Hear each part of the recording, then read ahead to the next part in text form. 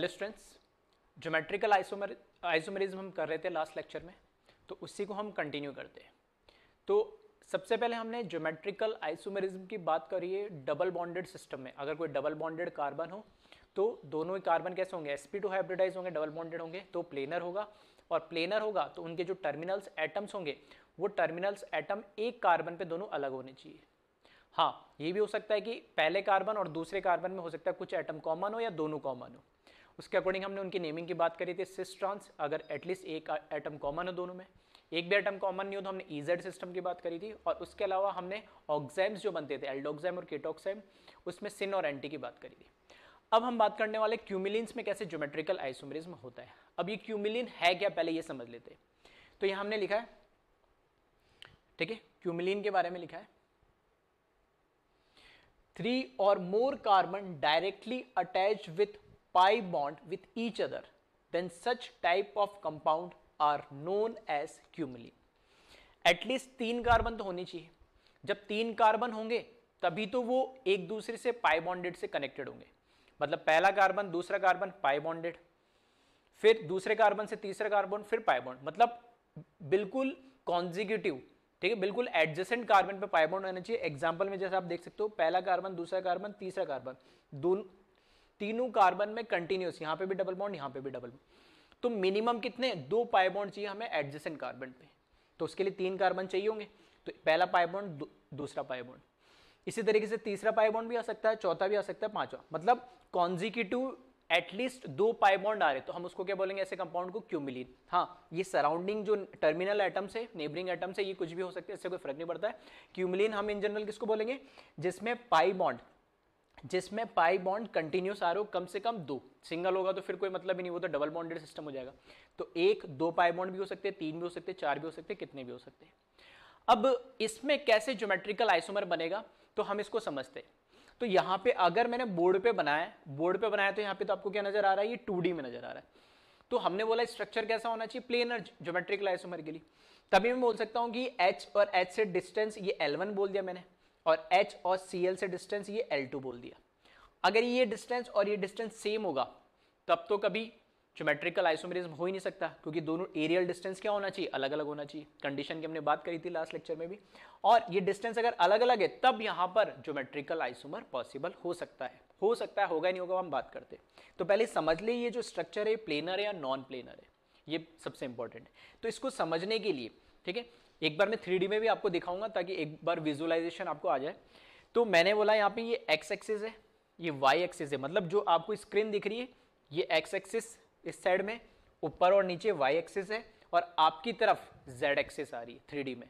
उसी वे में मैं आपको समझाने वाला हूँ। तो एक बार पहले वीडियो पॉज करके डेफिनेशन और ये जो पहला सबसे छोटा क्यूमिलिन जो बन सकता है, दो पाइबॉन्ड वाला वो बनाए। फिर मैं इसको थोड़ा सा एक्सप्लेन करता हूँ, इसमें ज्योमेट्रिकल आइसोमेरिज्म किस तरीके से होगा।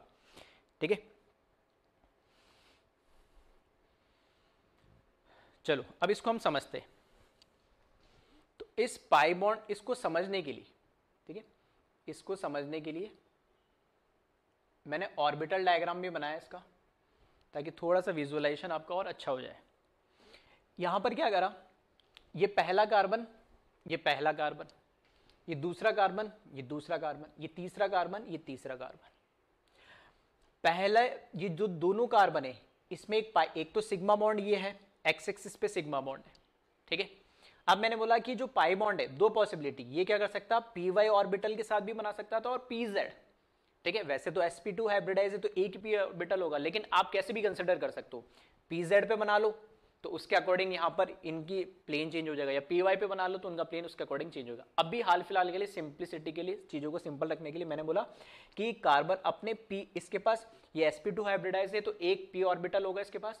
तो p ऑर्बिटल कौन से एक्सिस पे? Y एक्सिस पे मतलब स्क्रीन के इस तरीके से। ठीक है स्क्रीन पे, यानी ये y एक्सिस पे। तो इसका पी वाई ऑर्बिटल तो इस वाले कार्बन का भी जो पिंक कलर से बना है पी वाई ऑर्बिटल दोनों मिलके क्या बना रहे पाई बॉन्ड ये जो पाई बॉन्ड है, इसकी बात हो रही है। अब मैं कह रहा हूँ कि ये एक्स एक्सिस पे सिग्मा बॉन्ड और वाई एक्सिस पे पाई बॉन्ड तो ये एच और सी एल कौन से प्लेन में होंगे? तो मैंने बोला कि एक्स एक्सिस है, ये वाई एक्सिस है तो ये sp2 हाइब्रिडाइज है। अगर ये sp2 हाइब्रिडाइज है तो एक्स एक्सिस पे तो नहीं हो सकता sp2 के लिए, क्योंकि sp2 होना कैसा चाहिए? प्लेनर होना चाहिए। प्लेनर होना चाहिए तो ये कार्बन ये कार्बन और सॉरी ये कार्बन हाइड्रोजन और सीएल ये तीनों एक प्लेन में लाई करना चाहिए। तो कौन से प्लेन में? तो ये इस वाले प्लेन के अंदर है। ठीक है? ये वाला प्लेन कौन सा है? आपकी तरफ़ जो आ रहा है, ये एक्स और ये जेड एक्जेड प्लेन दिख रहा है। तो इस एक्जेड प्लेन में इधर एच है, इधर सॉरी इधर कार्बन है, इधर एच है और नीचे सीएल है। तो ये इस तरीके से नज़र आएगा। तो इस एक ही प्लेन में ये तीनों एटम नज़र आएँगे। तो मैंने यहाँ पे एच और सीएल को लिखा एक्जेड प्लेन में। क्यों? क्योंकि एक्जेड प्लेन में इसलिए क्योंकि इसका जो वाई प्लेन वाई एक्सिस है, उसके अलोंग तो इसने क्या बना लिया? पाई बॉन्ड एक्स एक्सिस के अलोंग इसने सिग्मा बॉन्ड बनाया वाई एक्सिस के अलोंग इसने क्या बना लिया? पाई बॉन्ड तो एक्स और वाई एक्सिस पे तो ये ऑक्यूपाई हो गए बॉन्ड बना लिया। तो अब रिमेनिंग कौन सा बचा? एक्जेड प्लेन तो एक्जेड प्लेन में लाई करेंगे। इसके आगे, ठीक है? एक बार इतना समझ लेना, एक बार मैं थ्री मॉडल से भी आपको समझा दूँगा। अब जब इस कार्बन और इस कार्बन में पाई बॉन्ड की बात करें तो अब इस कार्बन की लिमिटेशन आ गई कि इसने अपना वाई ऑर्बिटल तो क्या करा? पी ऑर्बिटल मतलब वाई एक्सिस पे पी वाई ऑर्बिटल तो इसने क्या करा? इसके साथ पाई बॉन्ड के साथ यूज़ कर लिया। एक्स एक्सिस पे इसके साथ सिग्मा और इसके साथ सिग्मा इसने बना ही लिया। तो इसके पास एक ही बचा एक्सिस एक्स एक्सिस पे ये बना लिया दोनों साइड वाई एक्सिस पे ये P Y bond pi bond बना लिया। तो अब कौन सा बचा? है सिर्फ़ जेड एक्सिस जो आपको ये आपके सामने की तरफ़ आ रही। तो जेड एक्सिस ये मैंने लिखा है पे पी जेड येलो कलर से जो बनाया मैंने इसका पी जेड ऑर्बिटल बनाया पी तो इसका अगर पी जेड यूज़ होगा तो इसको भी मजबूरन पी जेड यूज़ करने का पड़ेगा, तभी ये दोनों क्या होंगे, एक दूसरे के पैरल होंगे और एक दूसरे के पैरल होंगे, तभी क्या होगा, यहाँ पे पाई बॉन्ड बन पाएगा। मतलब इसके ये बॉन्ड इस तरीके से, ये वाई एक्सिस पे तो ये इस तरीके से ओवरलैप करे। अब इसका ये जेड एक्सिस है मतलब इस तरीके से, तब ये यहाँ पर क्या बना पाएगा पाई बॉन्ड बना पाएगा इस तरीके से। ठीक है? अब जब हमने यहाँ से इसका पीजेड एक्सिस तो यूज़ हो गया इसके साथ पाई बॉन्ड बनाने के लिए। एक्स एक्सिस भी सिग्मा बॉन्ड बनाने के लिए यूज़ हो गया। तो अब कौन सा बचा है? अब इसका एक्स वाई प्लेन बचा है तो एक्स वाई प्लेन में ये टर्मिनल एटम एच और सी नज़र आएँगे। एक्स वाई प्लेन मतलब ये पाई ऑर्बिटल तो इस प्लेन में है। ये पाई ऑर्बिटल तो इस प्लेन में येलो कलर से, ठीक है? सिग्मा ये हो ही गया। तो ये प्लेन कौन सा है? ये स्क्रीन का प्लेन है एच और C L X Y plane जिसको हमने बोला है। आ रही बस एक से कंसिडर करोगे तो अपना आप उसके करस्पॉन्डिंग इस तरीके से बनते जाएँगे। या यहाँ से स्टार्ट करोगे तो करस्पॉन्डिंग उस साइड बनते जाएँगे। बस एक को कहीं ना कहीं एक हिसाब से स्टार्ट करना है। तो ये तो थोड़ा सा मैंने बोर्ड पे टू में समझाने की कोशिश करी है। अब मेरे को ये डिस्टेंस और ये डिस्टेंस और ये डिस्टेंस और ये ये डिस्टेंस और ये अपोजिट डिस्टेंस ये चेक करना है। तो एक चीज़ तो यहाँ से क्लियर हो रही है कि एक्जेड प्लेन है और ये एक्स वाई प्लेन है। तो ये दोनों प्लेन है। ये प्लेन तो ऐसा है, ठीक है? ये प्लेन तो ऐसा है आपकी तरफ़ और ये प्लेन ऐसा है, ठीक है? मतलब ऐसे अपोजिट परपेंडिकुलर प्लेन हो गई ये। ये एच सी एल इस प्लेन में लाई कर रहे हैं और ये वाले एच और सी एल इस प्लेन में लाई कर रहे हैं परपेंडिकुलर प्लेन में लाई कर रहे हैं। तो डिस्टेंस क्या होगा? तो डिस्टेंस थोड़ा सा अगर विजुलाइजेशन किसी का सही हुआ तो ये दोनों डिस्टेंस यहाँ से क्या होंगे? सेम होंगे यानी। ठीक है? ये L1 और L2 दोनों क्या इस केस में? सेम है। कैसे है? तो अब इसको समझ लेते हैं। मैंने बोला यहाँ पर, ठीक है? ये थ्री मॉडल है। ठीक है मतलब थ्री मॉडल क्या मतलब यहाँ से ऑर्बिटल डायग्राम से को जो है वो मैं इस मॉडल से थोड़ा समझा रहा हूँ। इसमें से मान लेना, जो वाइट कलर है वो तो हाइड्रोजन है ब्लू कलर है वो क्लोरीन है, ठीक है? बाकी ये तीनों कार्बन है, बस इसको बीच वाले का कार्बन का कलर अलग लिया सेंटर वाले का, जो दोनों साइड पाइबॉन्ड बना रहा है। इस साइड से ही ऑब्ज़र्व करें, जैसा भी मैंने आपको समझाया। ये जो आपको दिख रहा है व्हाइट कलर का हाइड्रोजन और ये ब्लू कलर का क्लोरीन और ये वाला कार्बन ये तीनों एक प्लेन में, देख सकते हो ये तीनों एक प्लेन के अंदर है। ठीक है? इसका वाई एक्सिस ये जो ऊपर स्टिक और नीचे वाली स्टिक दिख रही है, ये इसके क्या है? पी वाई ऑर्बिटल है इसका। ठीक है? ऊपर वाला लोब और ये नीचे वाला लोब तो इस वाले कार्बन ये मतलब जो सेंटर वाला कार्बन है, इसका भी ये पी वाई और इसका भी पी वाई दोनों यूज़ करेगा तो ये दोनों आपस में ओवरलैप होंगे और यहाँ पर ये नीचे से दोनों आपस में इस तरीके से ओवरलैपिंग होगी। ठीक है? तो ये पी वाई अब इसका जब पी वाई फुलफिल हो गया। तो अब ये कौन सा मजबूरी रहेगी कि इसके बाद पी जेड के साथ ही बॉन्ड बनाना पड़ेगा इसके साथ। तो ये जो सेंटर वाला ग्रे कलर में है और ये वाला जो कार्बन है इसके साथ, ये जो स्टिक दिख रही है आपको, ये स्टिक दिख रही है आगे और पीछे, ऐसे इसमें ये स्टिक दिख रही है आगे और पीछे, ठीक है? तो ये दोनों कौन से कौन से हो गए इसके? ये वाली स्टिक कौन सी होगी? पीजेड ऑर्बिटल्स हो गए। पीजेड ऑर्बिटल्स हो गए तो इनके साथ ये पाइबॉन्ड ऐसे ये वाला लोब ओवरलैप करेगा, ऐसे ये पीछे वाला लोब ओवरलैप करेगा यानी। अब एक्स एक्सिस ही हो गई जेड एक्सिस ही हो गई तो अब ये जो वाई एक्सिस है, ये फिर से हाइड्रोजन ये कार्बन और ब्लू वाला क्लोरीन ये तीनों क्या हो गए? इस प्लेन के, कौन से प्लेन आ गया एक्स वाई प्लेन जिसको मैं ये बोल रहा हूँ। तो ध्यान से आप देखोगे तो एक, दो, तीन, ये कैसा है? Sp2 हाइब्रिडाइज है तो तीन प्लेनर होना चाहिए। मतलब ये तीनों मॉलिक्यूल एक, दो, तीन मॉलिक्यूल तो एक ही प्लेन में आ रहे ये भी sp2 हाइब्रिडाइज है तो ये भी कैसा होना चाहिए? प्लेनर होना चाहिए तो ये तीनों इस प्लेन में आ रहे बस दोनों का प्लेन अलग अलग हो गया। तो ध्यान से आप इसको देखोगे तो इसका प्लेन तो ये है तीनों एटम का और इन तीनों का प्लेन ये तो जो मैं कह रहा था कि ये जो टर्मिनल एटम है, वो इस प्लेन में लाई कर रहे जिस, जो कौन सा प्लेन है? एक्जेड प्लेन और ये किसमें लाई कर रहे हैं? ये एक्स वाई प्लेन में लाई कर रहे हैं, ये दोनों टर्मिनल एटम मतलब अगर दो कॉन्जिक्यूटिव पाइबॉन्ड एक साथ आ रहे दो कॉन्जिक्यूटिव पाइबॉन्ड एक साथ आ रहे तो इनके जो टर्मिनल एटम्स होते ये एक दूसरे के परपेंडिकुलर प्लेन में नज़र आएँगे। तो ये दोनों एटम और ये दोनों एटम एक दो, एक दूसरे के परपेंडिकुलर किस पे? डिस्टेंस पे। अब मैं कह रहा हूँ, मैंने पहला डिस्टेंस कौन सा बोला? इस एच से इस एच का डिफरेंस मतलब ये दिख रहा है यहाँ पे, ये एच और ये ऊपर व्हाइट वाला। ये डिस्टेंस मैंने बोला है। और दूसरा डिस्टेंस को एच और यहाँ पे सी तो इसमें बोर्ड पे 2D में देखने में तो ऐसा लगता है ये डिस्टेंस छोटा होगा और ये डिस्टेंस बड़ा होगा। लेकिन एक्चुअल में क्योंकि दोनों परपेंडिकुलर प्लेन में तो इस, ठीक है? ऐसे समझ लो। आपके सामने कर दिया मैंने ये। तो जो परपेंडिकुलर प्लेन है तो अब इस हाइड्रोजन से ऊपर लू डिस्टेंस या इस हाइड्रोजन से मैं नीचे डिस्टेंस लू, दोनों डिस्टेंस क्या मिलेंगे आपको? सेम ही मिलेंगे। ये डिस्टेंस लू या फिर यहाँ से नीचे डिस्टेंस लू, दोनों डिस्टेंस क्या मिलेंगे? सेम ही मिलेंगे। जब दोनों डिस्टेंस होंगे सेम जब एरियल डिस्टेंस ही सेम हो गया टर्मिनल एटम का तो मैं कैसे बोल सकता हूँ कि पास होगा या दूर होगा? ठीक है? तो ये तो कभी जीआई शो ही नहीं कर सकते, क्योंकि एरियल डिस्टेंस अलग अलग होने चाहिए थे। L1 और L2 यहाँ पे L1 और L2 क्या है? सेम तो ज्योमेट्रिकल आइसोमर तो इसमें नहीं दिखा सकता।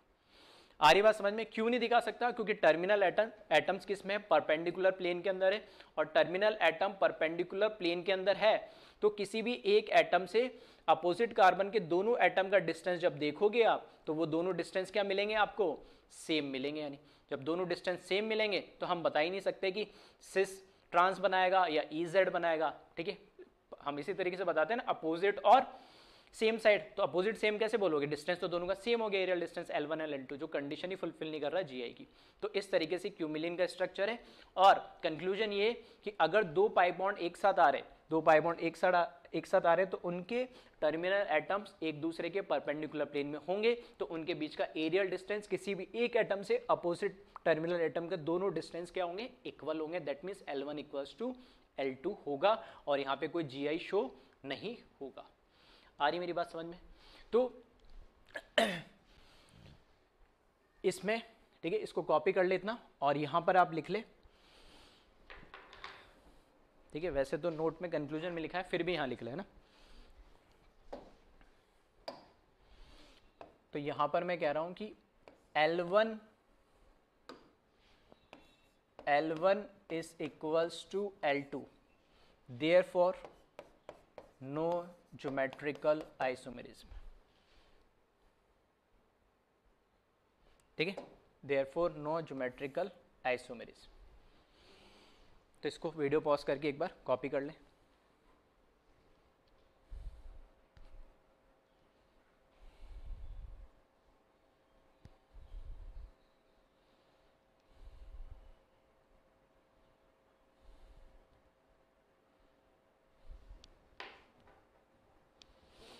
चलो, अब बढ़ते हम आगे।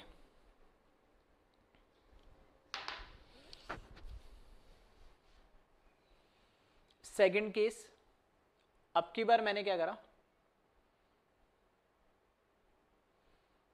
ठीक है, अब की बार यहाँ पर क्या करा? तीन पाइबोंड एक साथ ले लिए।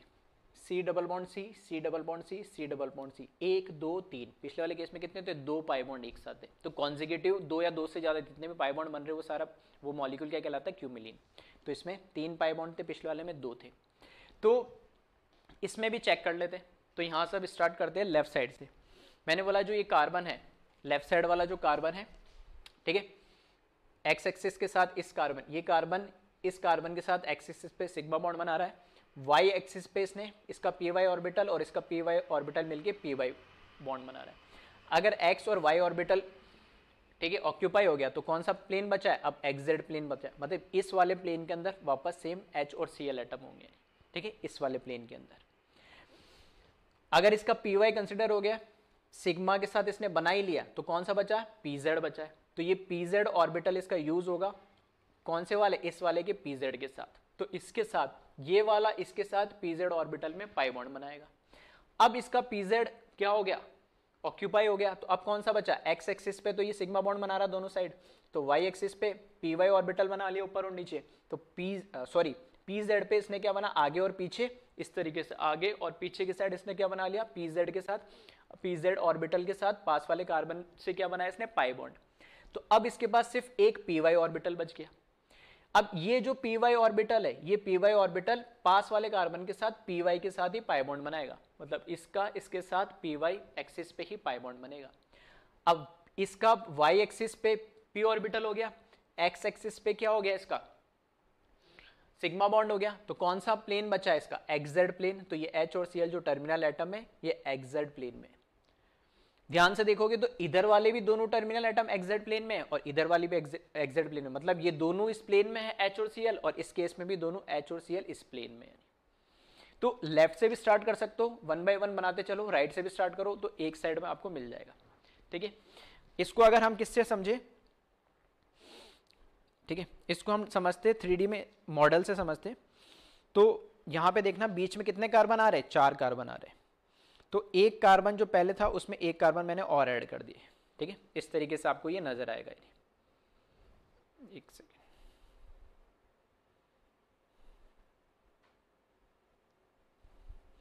ठीक है? तो ये इस तरीके से आपको ये नज़र आएगा कैसे आप स्टार्ट करोगे? तो मैं कह रहा हूँ, इस साइड से स्टार्ट करना। ये कार्बन का पी वाई मतलब ये जो ये वाला, ठीक है, सबसे लास्ट में। ये जो स्टिक दिख रही है ऊपर और नीचे, ये पी वाई ऑर्बिटल इसके।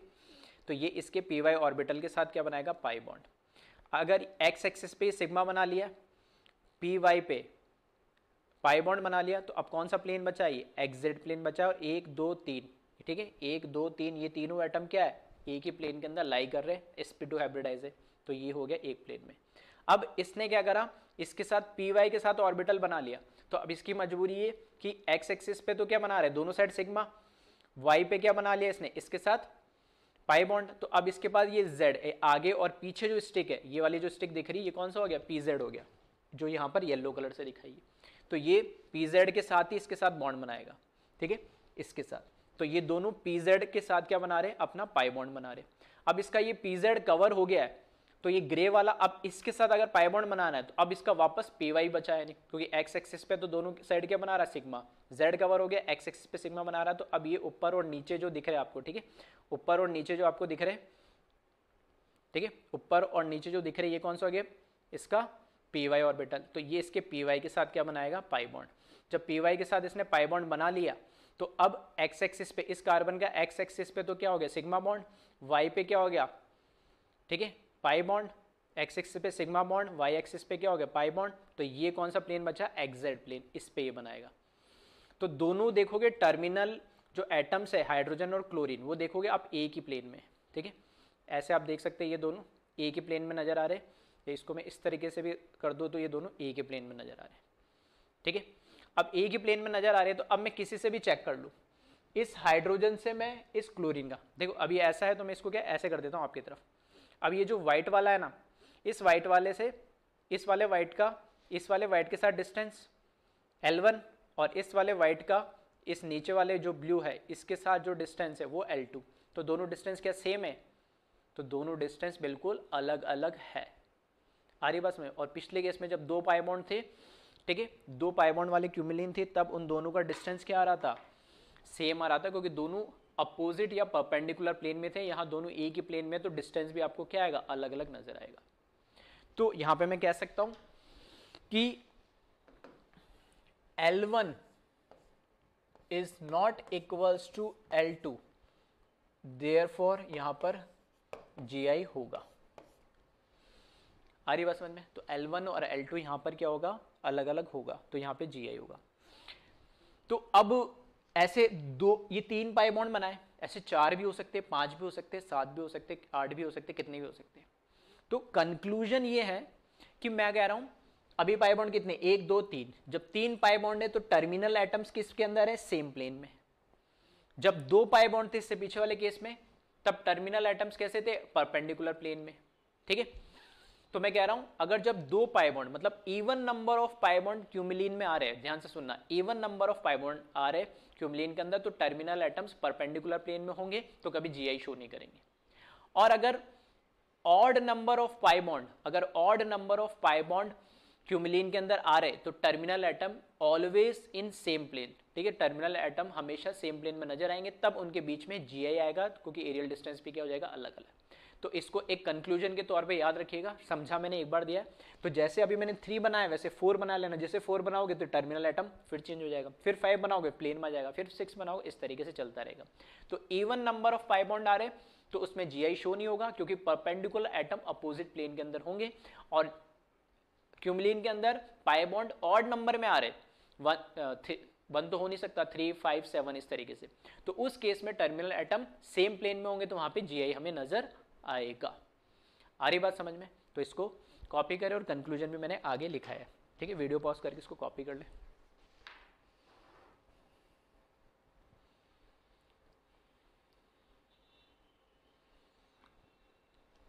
चलो, अब देखते इसमें आगे। तो इसमें जो कंक्लूजन है, वो देखें।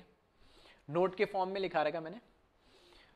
If number of pi bond in cumulene is even then terminal atoms or group lie in perpendicular plane to each other. Therefore, aerial distance remains same, which result it does not show gi ठीक है? तो अभी जो समझाया था कि अगर even number of pi bond आ रहे क्यूमिलिन में तो टर्मिनल एटम्स अपोजिट या परपेंडिकुलर प्लेन में नज़र आएँगे तो एरियल डिस्टेंस उनके बीच में क्या होगा? सेम होगा। और एरियल डिस्टेंस अगर सेम होगा तो जीआई की बात होगी नहीं। ठीक है? तो इसको कॉपी करें इस पॉइंट को। वीडियो पॉज करके।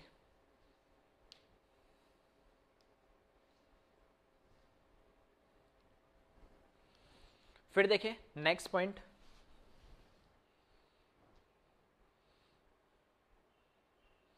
if number of pi bond is odd in cumulene then terminal atoms or group lie in same plane hence it show geometrical isomerism because the aerial distance is different from one atom to opposite sides of atom ठीक है? तो simple सा conclusion है even number of pi bond no G I odd number of pi bond GI होगा ठीक है? तो इसको वीडियो पॉज करके इस नोट को भी कॉपी करें। फिर कुछ इस पर हम क्वेश्चन देखते हैं चलो, अब इसमें हम क्वेश्चंस देखते हैं कुछ।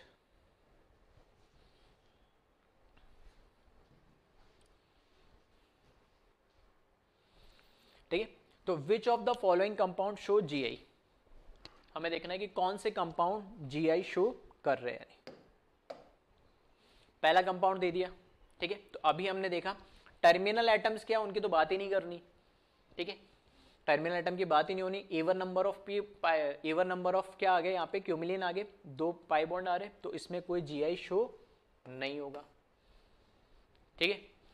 इसके अंदर बात करें तो एक, दो, तीन, ठीक है? एक, दो, तीन आ गया तो बस, फिर इसमें टर्मिनल एटम चारों अलग अलग हो तो ईजेड बोल देंगे, है ना? कॉमन होगा तो सिस्ट्रांस बोल देंगे। जैसे अगर इसमें मैं बोलूँ, ये अपोजिट साइड है तो मैं इसको क्या बोल सकता हूँ? ट्रांसफॉर्म बोल सकता हूँ। इस साइड आ जाता तो मैं क्लोरीन ऊपर आया था तो क्या बोलता है? सिस फॉर्म तो इसमें जीआई होगा। जी क्यों होगा? क्योंकि क्यूमिलिन है कॉन्जिक्यूटिव पाइबॉन्ड्स आ रहे हैं और ऑड नंबर में आ रहे हैं। तो ये दोनों टर्मिनल आइटम किसमें होंगे? सेम प्लेन में होंगे तो इसमें जी आई होगा। थर्ड क्वेश्चन देखिए इसमें। तो इस टाइप के क्वेश्चन में पहले भी मैं बता चुका हूँ, आप क्या करें? जो सेंटर होता है, ठीक है? जो सेंटर होता है, वहाँ से एक लाइन ड्रॉ करें। सेंटर से एक लाइन ड्रॉ करें, इस तरीके से।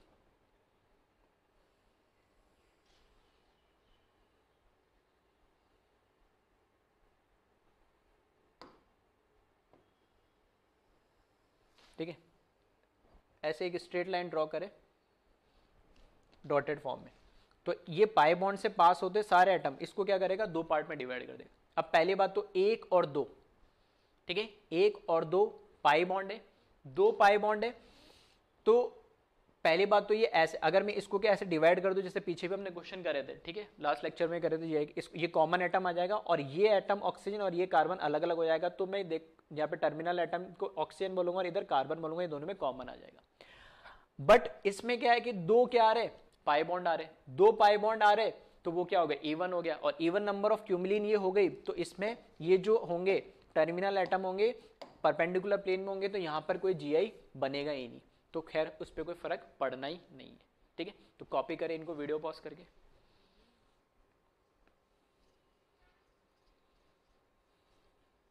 फिर देखें नेक्स्ट फोर्थ वन देखें पहले। फोर्थ वन के अंदर क्या है? एक, दो, तीन। ठीक है? एक, दो, तीन पाई बॉन्ड आ रहे तीन पाई बॉन्ड आ रहे तो ऑड नंबर ऑफ़ क्यूमिलिन होगी ऑड नंबर क्यूमिलिन होगी तो ये एटम्स और ये एटम क्या होंगे? सेम प्लेन के अंदर होंगे तो हम जीआई की बात कर सकते हैं। तो यहाँ से वापस इस तरीके से एक लाइन ड्रॉ कर दो। और लाइन ड्रॉ करोगे तो देखोगे कि यहाँ पर ये ऑक्सीजन यहाँ पर ये क्या आ गया? कार्बन ये तो कॉमन आ जाएगा। तो मैं इस तरीके से कंसिडर करूँगा, यहाँ पे ऑक्सीजन यहाँ पे कार्बन यहाँ पे हाइड्रोजन यहाँ पे क्लोरीन वहाँ पे कॉमन हो नहीं हो टर्मिनल एटम पे, जैसे हम जीआई में देखते रहे डबल बॉन्डेड सिस्टम में, वैसे यहाँ पे देखना टर्मिनल एटम एक कार्बन पे सेम तो नहीं तो नहीं सेम नहीं, अलग है। यहाँ पे ऑक्सीजन आ रहा है, यहाँ पे कार्बन आ रहा है तो यहाँ पर ये जीआई फिर से शो करेगा। ठीक है?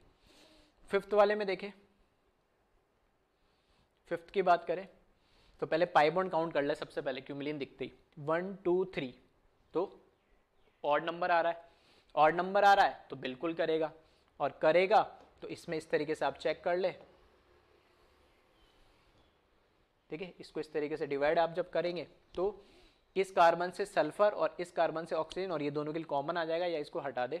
हाफ़ हाफ़ में कट हो जाएगा, ठीक है? और यहाँ पे H और सी एस थ्री अलग अलग है तो यहाँ पर भी जी आई शो करेगा, ठीक है? तो इसको भी कॉपी करें।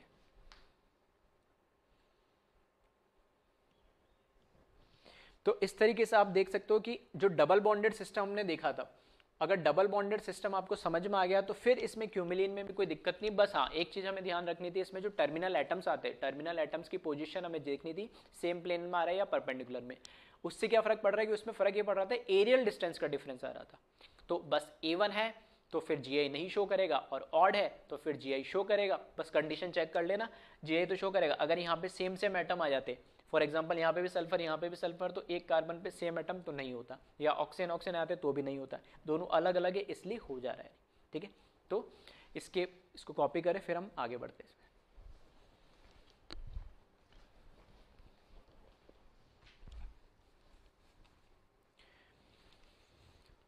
तो अभी तक हमने देखा है geometrical isomerism simple single double bonded system में, फिर कॉन्जिक्यूटिव डबल बॉन्ड आ रहे हैं हमारे पास, दो, तीन, चार, पाँच, ठीक है, जिनको हम क्यूमलिन बोलते हैं। अब हम बात कर रहे हैं क्या साइक्लो एल्केन के अंदर भी ज्योमेट्रिकल आइसोमेरिज्म हो सकता है, ठीक है? तो साइक्लो एल्केन अगर मैं बोलता हूँ तो उसका मतलब एक साइक्लिक कंपाउंड होगा, जिसके अंदर सिर्फ़ कार्बन एंड हाइड्रोजन होगा यानी। तो सिर्फ़ कार्बन और हाइड्रोजन अगर है, और उसमें ना तो कोई डबल बॉन्डेड है, ना ही कोई उसके अंदर हाइड्रोजन के अलावा कोई दूसरा आइटम लगा हुआ है तो कभी भी उसके अंदर ज्योमेट्रिकल आइसोमेरिज्म नहीं होगा। इसलिए यहाँ पे लिखा है जीआई मतलब geometrical isomerism in substituted cycloalkane cycloalkane तो है साइक्लिक कंपाउंड तो है, लेकिन सब्सटीट्यूटेड का मतलब है कि एक हाइड्रोजन या दो हाइड्रोजन या तीन हाइड्रोजन की जगह कोई दूसरा सब्सटीट्यूट लगा हुआ है। आइधर हेलोजन हो या कोई ग्रुप हो या कोई एटम हो और कोई भी। ठीक है तो सिंपल साइक्लोएल्केन एल्केन का मतलब तो कार्बन और हाइड्रोजन सिर्फ़ साइक्लिक फॉर्म में सब्सटीट्यूटेड साइक्लोएल्केन का मतलब है कि हाइड्रोजन के अलावा भी कोई दूसरा एटम उसमें प्रेजेंट है। तो सिंपली अगर मैं बोलूँ साइक्लोएल्केन के अंदर जीआई क्यों नहीं हो सकता है तो उसकी हम बात करते हैं। सबसे छोटी जो साइक्लिक रिंग हो सकती है, वो थ्री मेंबर कार्बन की हो सकती है। तो यहाँ पर मैंने थ्री मेंबर साइक्लिक रिंग लिए ठीक है थ्री मेंबर साइक्लिक रिंग लिए ब्लैक वाले जो तीनों दिख रहे हैं, आपको क्या है, ये तीनों कार्बन है। हर एक कार्बन कैसा है? Sp2 हाइब्रिडाइज ठीक है हर एक कार्बन कैसा है? Sp2 हाइब्रिडाइज है तो अगर मैं यहाँ पर इस तरीके से इसको बनाऊँ।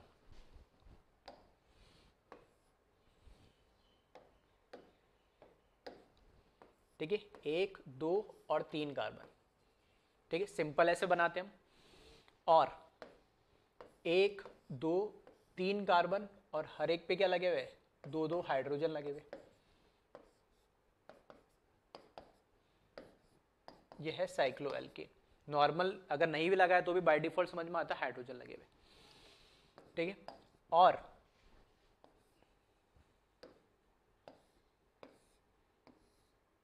अगर थ्री में थोड़ा सा मुझे दिखाना है तो हम कैसे दिखाते इसको? वेज और डैश के फॉर्म में।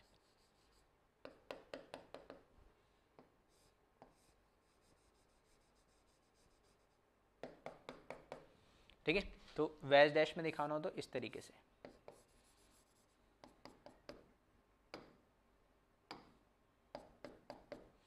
ठीक है तो यहाँ पे भी hydrogen hydrogen hydrogen hydrogen hydrogen और हाइड्रोजन ठीक है, कैसे भी समझ लें।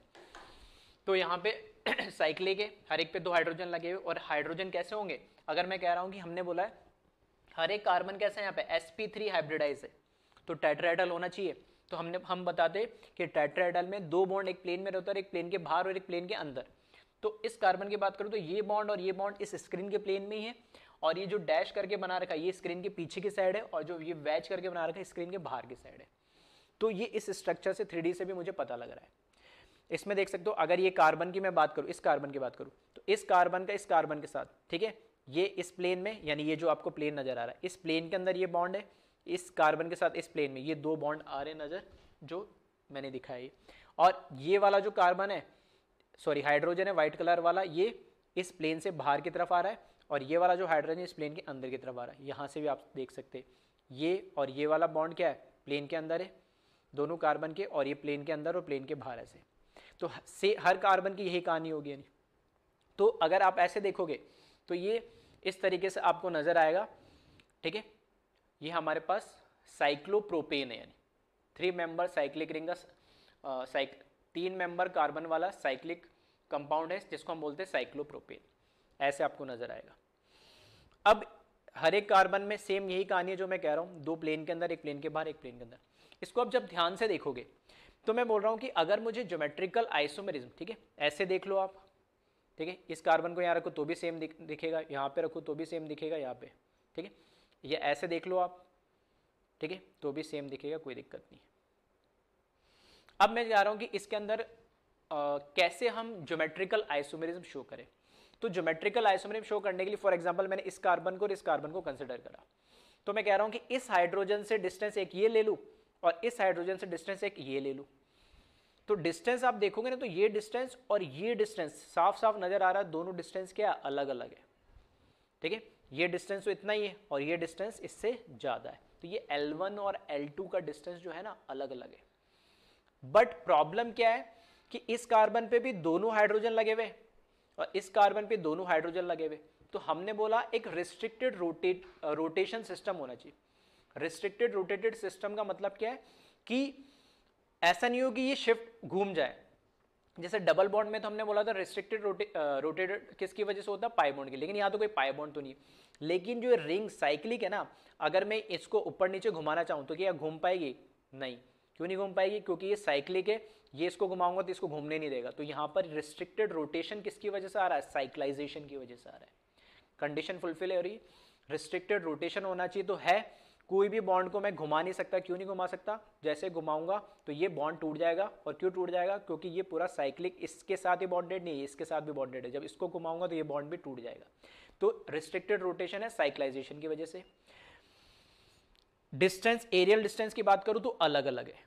अब बात आ रही है कि एटम्स, एक एटम पे जो रिस्ट्रिक्टेड रोटेशन है, इन दोनों के बीच में देख लो, या इन दोनों के बीच में देख लो, या इन दोनों के बीच में देख लो। किसी के बीच में देख लो, कोई फ़र्क नहीं पड़ता। लेकिन मैं कह रहा हूँ, जिन दोनों के भी बीच में, दो कार्बन के बीच में आप देख रहे हो तो उन कार्बन के बीच बीच में, उन कार्बन के ऊपर जो टर्मिनल एटम्स इस पे दोनों ये टर्मिनल एटम इस पे ये दोनों टर्मिनल एटम्स कैसे होने चाहिए? अलग अलग होने चाहिए। यही तो था कंडीशन थर्ड तो यहाँ पे भी हाइड्रोजन यहाँ पे भी हाइड्रोजन यहाँ पे भी हाइड्रोजन यहाँ पे हाइड्रोजन तो अगर नॉर्मल सिर्फ़ साइक्लोएल्केन लो, जिसके अंदर कार्बन हो और सिर्फ़ हाइड्रोजन हो तो उसके अंदर ज्योमेट्रिकल आइसोमेरिज्म इसलिए शो नहीं कर सकता, क्योंकि इसके रेस्पेक्ट में ये भी हाइड्रोजन इसके रेस्पेक्ट में ये भी हाइड्रोजन तो मैं कैसे बोलूँ कि सिस ट्रांस है या ईजेड है। इसलिए जो इसकी थर्ड कंडीशन थी, वो कंडीशन सब में लगेगी। ठीक है थर्ड जैसे तीनों कंडीशन सब में फुलफिल होनी चाहिए, जो थर्ड कंडीशन इसमें फुलफिल नहीं हो रही, इसलिए एक हाइड्रोजन हटा के हम कोई दूसरा एटम या कोई दूसरा ग्रुप लगा देंगे ताकि ज्योमेट्रिकल आइसोमेरिज्म शो कर सके। उसी को हमने नाम दिया क्या? सब्सटीट्यूटेड साइक्लोएल्किन बोला है आ रही बात समझ में? कैसे? अब मैंने इसका एक हाइड्रोजन हटाया। एक हाइड्रोजन हटाया और उसकी जगह मैंने मान लो फॉर एग्ज़ाम्पल क्लोरीन लगा दिया ब्लू कलर का एटम लगा दिया। अब ब्लू कलर का एटम इस कार्बन पे तो मैंने लगा दिया। लेकिन अब इस ब्लू के रेस्पेक्ट में ये भी व्हाइट है इधर, और यहाँ पे भी व्हाइट है। तो क्या अभी भी मैं, क्या अभी भी मैं बोल सकता हूँ ज्योमेट्रिकल आइसोमेरिज्म शो करेगा? बिल्कुल नहीं। क्यों? क्योंकि इस पे तो दोनों एटम अलग हो गए, लेकिन जो दूसरा, जैसे वहाँ डबल बॉन्डेड कार्बन पे दोनों अलग होने चाहिए, यहाँ पर अभी भी दोनों क्या है सेम है। तो इस पे भी मुझे क्या करने पड़ेंगे? अलग अलग करने पड़ेंगे। तो यहाँ से भी मैंने क्या करा, एक हाइड्रोजन और हटाया, और यहाँ पर दूसरा, एक और इसी टाइप का एटम लगा दिया।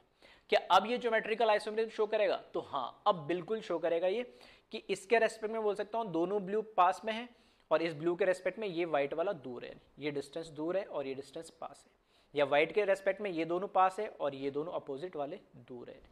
तो अगर मैं बोल रहा हूँ कि ये हुआ एक सिस फॉर्म तो इस बॉन्ड को अब मैं रोटेट तो कर नहीं सकता हूँ तो मुझे क्या करना पड़ेगा? ब्रेक करना पड़ेगा। तो इस बॉन्ड को मैंने यहाँ से तोड़ा और इस बॉन्ड को मैंने यहाँ से तोड़ा, ऊपर व्हाइट लगा दिया मैंने, है ना?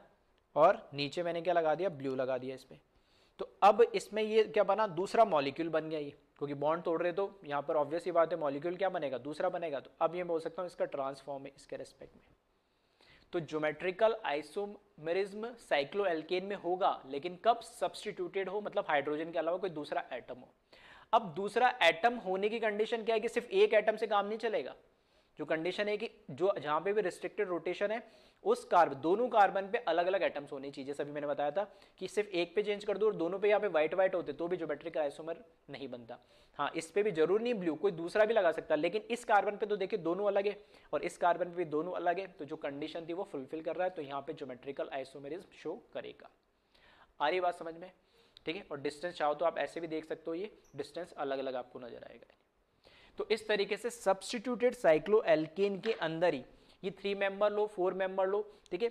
ऐसा नहीं कि थ्री मेंबर है तो ये आपको ऐसे फोर मेंबर लोगे तो उसमें चलो मैं फोर मेंबर भी एक लगा के दिखाई देता हूँ आपको, उसमें भी कोई दिक्कत नहीं मतलब ऑड नंबर ऑफ़ साइक्लिक लो आप या इवन नंबर वाली लो, कोई फ़र्क नहीं पड़ना उससे।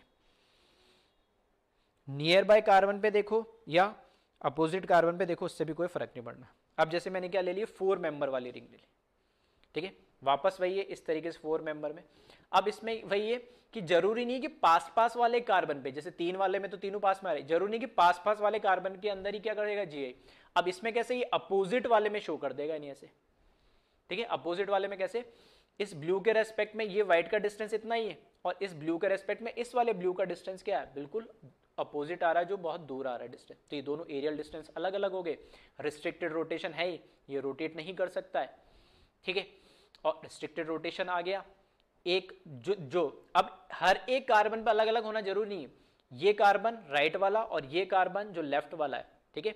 इन दोनों पे अलग अलग एटम होना ज़रूरी। जो दो एटम के बीच में ज्योमेट्रिकल आइसोमेरिज्म बात करी, उनकी, उन उन कार्बन की बात करेंगे। ज़रूरी नहीं हर एक एटम की हम बात करें। तो यहाँ पर, जैसे वहाँ पे दो पास वाले में भी कर सकता था एक छोड़ के भी कर सकता था, ठीक है, इस तरीके से। तो यहाँ पे ये वाला और ये वाला एटम दोनों ज्योमेट्रिकल आइसोमेरिम शो कर रहे हैं, जो आपको डिस्टेंस से भी नज़र आ रहा होगा। ये डिस्टेंस और ये डिस्टेंस दोनों ब्लू वाला डिस्टेंस क्या? अलग अलग है। ठीक है? तो ऐसा नहीं कि ऑड नंबर हो या इवन नंबर हो, उससे कोई फ़र्क नहीं पड़ता इसमें, बस। और वो भी कोई ज़रूरी नहीं है कि दो कॉन्जिक्यूटिव कार्बन पे ही लगे हुए होने चाहिए सब्सटीट्यूशन ऑल्टरनेट पे भी लगे हो सकते, पाँच वाली रिंग होती है तो एक दो पे भी लगा हो सकता है एक तीन पे भी लगा हो सकता था। ठीक है? उससे कोई फ़र्क नहीं पड़ना है। तो आई थिंक थोड़ा थ्री डी विजुअलाइजेशन से दिमाग में आपको ये सेट हो गया कि एरियल डिस्टेंस इनका अलग अलग होता है और सब्सटीट्यूशन होना क्यों ज़रूरी है? तभी तभी हम एक के रेस्पेक्ट में दूसरे का डिस्टेंस बता पाएँगे और सेम होंगे सारे हाइड्रोजन तब नहीं बताएँगे। और रिस्ट्रिक्टेड रोटेशन वाली जो कंडीशन है यहाँ पर किस वजह से साइक्लाइजेशन की वजह से यहाँ पे फ्रीली रोटेशन नहीं हो सकता है। ठीक है? अब हम आते हैं हमारे जो टॉपिक था उसमें। तो हमने लिखा geometrical isomerism in substituted cycloalkane तो यहाँ हमने लिखा है टू सेम और different substituent must be present on two different sp3 carbon atom of cycloalkane two same का मतलब जैसे अभी मैंने दोनों ब्लू ब्लू लगा दिए, या एक ब्लू या कोई रेड लगा देता, कोई फ़र्क नहीं पड़ता। लेकिन टू सेम और different substituent must be present on two different दो अलग अलग कार्बन पे होने चाहिए। वो दो अलग अलग कार्बन पे दोनों ग्रुप सेम हो मतलब दोनों अलग अलग कार्बन पे ब्लू हो, या दोनों अलग अलग कार्बन पे एक ब्लू और एक रेड हो, कोई फ़र्क नहीं पड़ता है। ठीक है? और वो जो कार्बन है, कैसा होना चाहिए? Sp3 carbon atom of cycloalkane due to cyclic structure free rotation along sigma bond is not possible तो मैंने बोला जो रिस्ट्रिक्टेड रोटेशन इस केस में होता है साइक्लाइजेशन की वजह से होता है। क्लियर है? तो इसको आप कॉपी करें।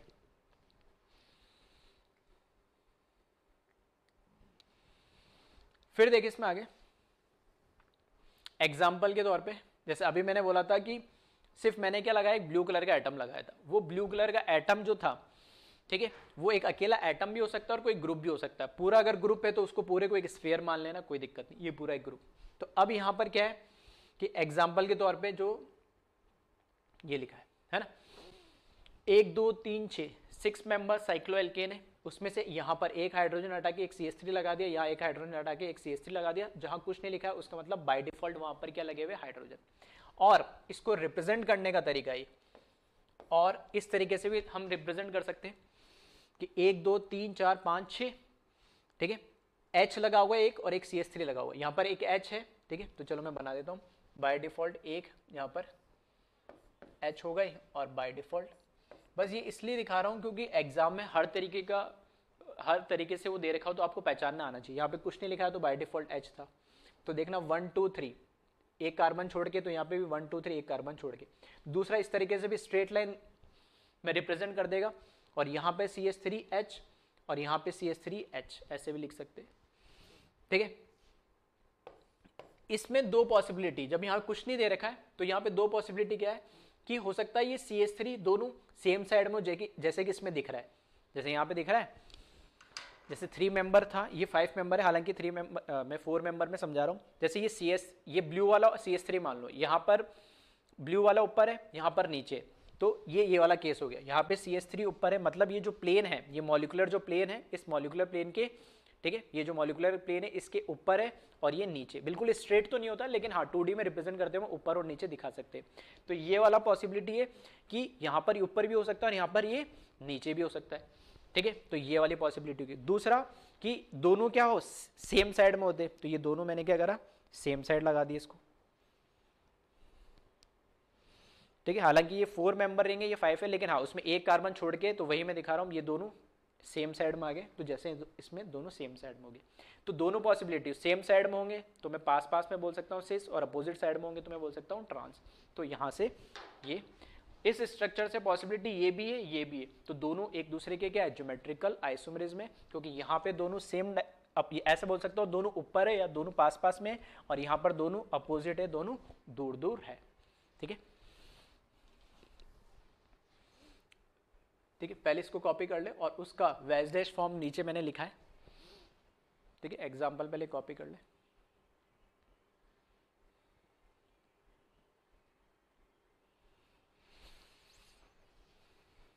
फिर इसी का, ठीक है? ये जो फॉर्म हमने बनाया, अब कैसे भी अगर मान लो, ये ऊपर वाले को, अगर इस सी एस थ्री को आपने वेज पे माना है, ठीक है? तो इसको भी वैच पे मानना, इसको डैश पे माना है तो इसको भी डैश पे मान लेना। जो एक को मान लोगे, दूसरा उसके बिल्कुल अपोजिट हो जाएगा तो फॉर एग्ज़ाम्पल और, इसको ही ऐसे लिखा है, कैसे करके? मैंने सी एस थ्री को किस पे मान लिया? वैच पे। तो ये सी एस थ्री जो ऊपर वैच पे है तो इसको भी मेरे को वैच पे मानना पड़ेगा तो इसको भी मैंने वैच पे माना है। तो बाय डिफ़ॉल्ट हाइड्रोजन किस पे आ गया? डैश पे आ गया। ठीक है? एंड फिर से और करके लिख रहा हूँ मैं यहाँ पे। ये इसी का स्ट्रक्चर है। सी एस थ्री को मैंने किस पे माना है? वेज पे। तो ऊपर वाला है सी एस थ्री वेज पे। यहाँ पर ऊपर इस बार कौन है? हाइड्रोजन तो यहाँ पर ऊपर हाइड्रोजन है, वो भी वेज पे। तो यह वेज है तो एच अपने आप डैश पे आ गया। यहाँ ऊपर हाइड्रोजन वेज पे है तो सी एस थ्री अपने आप डैश पे आ गया। तो ऐसे भी दिखा दिखा सकते हैं कि C S three C S three दोनों वेज ये ऊपर की साइड है, ऐसा जैसे ये मान लो इस स्ट्रक्चर में दिख रहा है, दोनों ऊपर की साइड नज़र आ रहे हैं। ठीक है? और ये कैसा आ जाएगा? C S three C S three नीचे वेज और डैश ऊपर और नीचे की साइड हो जाएगा। प्लेन के एक ऊपर होगा और एक प्लेन के नीचे नज़र आए ठीक है? तो कॉपी करें इसको।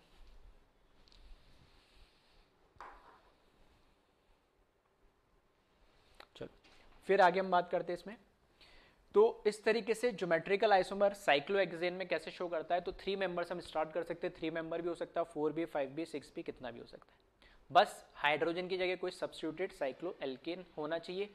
और दोनों वो दो कार्बन नियर बाई भी हो सकते हैं, एक छोड़ के भी हो सकते हैं, दो छोड़ के भी हो सकते कोई फ़र्क नहीं पड़ता उस रिंग में कोई से भी दो कार्बन होने चाहिए, लेकिन उन दोनों कार्बन पे जो एटम्स लगे हुए दो एटम्स लगे होंगे sp3 पे, क्योंकि दो तो नियर बाई कार्बन के साथ बॉन्ड बना रखे होंगे और दो जो सब्सटेंट लगे होंगे, दोनों अलग अलग होने चाहिए एक कार्बन पे। हाँ दोनों कार्बन में कोई एक कॉमन हो सकता है, वो बात अलग है, लेकिन सेम वही बात है कि जो दोनों कार्बन है, उन पे एक कार्बन पे दोनों एटम सेम नहीं होने चाहिए, ठीक है? चलो, अब इस पर कुछ क्वेश्चन देखते कॉपी कर लिया हो तो इसको।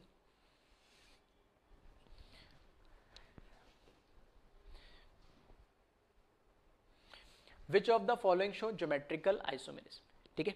तो अब यहाँ पर देखें इसमें। इसमें यहाँ पर बाय डिफ़ॉल्ट दो हाइड्रोजन लगे हुए। ठीक है? बाय डिफ़ॉल्ट यहाँ पर मैंने बोल दिया। यहाँ पे भी हाइड्रोजन यहाँ पे भी हाइड्रोजन यहाँ पे भी हाइड्रोजन यहाँ पे भी हाइड्रोजन तो कौन कौन से यहाँ पर ज्योमेट्रिकल जीआई शो करेगा? तो ये वाला शो करेगा। इस वाले कार्बन पे दोनों ग्रुप या दोनों एटम अलग है। इस वाले कार्बन पे दोनों एटम अलग है। है ना? और इन दोनों एटम अलग है और साइक्लो एल्केन है तो ये जीआई शो कर देगा। तो इसमें कोई दिक्कत ही नहीं है। तो ये जीआई बिल्कुल शो करेगा ठीक है? एक बार दोनों बी आर सी एल ऊपर ले लो, एक बार बी आर और सी एल अपोजिट ले लो तो हो जाएगा। इसी तरीके से फोर मेंबर फोर मेंबर का मैंने दिखाया तो अलग अलग तरीके से दिखा सकते हैं। ठीक है? फिर से यहाँ पर अगर मैं बात करूँ कि इस वाले पे एक एच और सी एल हो गया, इस पे भी एक एच और सी एल हो गया। तो मैंने बोला, इस कार्बन पे, इस कार्बन पे अलग अलग होनी चाहिए तो एच और सी अलग अलग है। इस कार्बन पे अलग अलग होनी चाहिए एच और सी अलग है। हाँ इनमें कॉमन एच और दोनों में कॉमन सी आ रहा कोई फ़र्क नहीं पड़ रहा, जैसे कि ये वाला स्ट्रक्चर इसको ऐसे देख सकते हो आप। ठीक है? ये इस तरीके से। ये ऐसे नज़र आ रहा है। तो अब इसको बस रिप्रेजेंट करने के लिए हमने क्या करा? एक को इस तरीके से ऊपर बना दिया, एक को नीचे बना दिया। तो टू में बनाने के अलग अलग तरीके रिप्रेजेंटेशन है। ठीक है? तो यहाँ पर भी क्या है? कंडीशन फुलफिल हो रही है साइक्लिक है। Sp3 कार्बन पे होना चाहिए sp3 कार्बन पे है। दोनों वैलेंसी अलग अलग होनी चाहिए, दोनों वैलेंसी अलग अलग है। दोनों केस में रिस्ट्रिक्टेड रोटेशन आया गया तो यहाँ पर भी जी क्या करेगा? शो करेगा। फिर इसमें देखें, इस केस में यहाँ पर देखें तो जहाँ पर सारे हाइड्रोजन है, वहाँ तो हम बात ही नहीं कर सकते। यहाँ पर सब्सटीट्यूशन है तो ये कुछ नहीं दे रखा मतलब मिथाइल हो गया, और एक क्या हो जाएगा? बाय डिफ़ॉल्ट यहाँ पर हाइड्रोजन सेम इसी तरीके से यहाँ पे भी एक हो जाएगा हाइड्रोजन तो इस sp3 कार्बन पे देखें तो एक H हो जाएगा और एक इथाइल अलग अलग हो एक H हो जाएगा और एक मिथाइल ये भी अलग अलग हो ठीक है? तो इस केस में भी ये क्या करेगा? GI शो करेगा, क्योंकि इसके अंदर फिर से sp3 कार्बन पे दोनों वैलेंसी अलग अलग है, ठीक है? तो यहाँ पर GI शो करेगा। तो 2D में समझने में थोड़ी सी दिक्कत होती है साइक्लो एल्केल में। तो वो थोड़ा सा मैंने थ्री मॉडल से दिखाया कि हाँ इस तरीके से नज़र आता है और वो एरियल डिस्टेंस दोनों का अलग अलग दिखता है। फिर देखिए इसी तरीके से फोर्थ वाले में। फोर्थ वाले में, पास वाले कार्बन पे नहीं तो नहीं है, लेकिन एक, दो, तीन। इस वाले पे देखे यहाँ पे भी मिथाइल है मतलब कुछ नहीं दे रखा मतलब ये क्या है?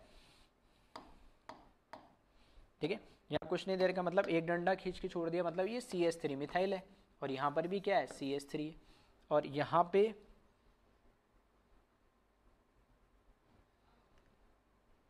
नीचे, यहाँ पे भी क्या है? एक डंडा खींच, छोड़ दिया मतलब ये भी क्या है? सी एस थ्री अब क्या इसके अंदर जीआई शो करेगा? तो ये एक, दो, तीन, चार, इन सब पे तो दो दो हाइड्रोजन लगे तो इनसे तो बात ही नहीं कर सकते। ये sp3 कार्बन ये तो एक तो cs3 हो गया, और दूसरा बाय डिफ़ॉल्ट क्या हो जाएगा यहाँ पे? बाय डिफ़ॉल्ट दूसरा क्या हो जाएगा? हाइड्रोजन हो जाएगा। दो, इस कार्बन पे दोनों वैलेंसी अलग है। ठीक है कंडीशन सेटिस्फाई कर रहा है। एक और कार्बन होने चाहिए जिसपे दो वैलेंसी अलग होनी चाहिए। तो ये भी सी आ गया, ये भी सी आ गया। दोनों एच हटा के दोनों सी एस थ्री लगा दिए तो दोनों सेम आ गया जबकि दोनों क्या होने चाहिए? अलग अलग अलग होने चाहिए। तो यहाँ पर एक ही कार्बन पे दोनों की वैलेंसी अलग अलग होनी चाहिए, वो कंडीशन सेटिस्फाई नहीं कर रहा, इसलिए GI शो नहीं करेगा। आ रही बात समझ कॉपी करें वीडियो पॉज करके।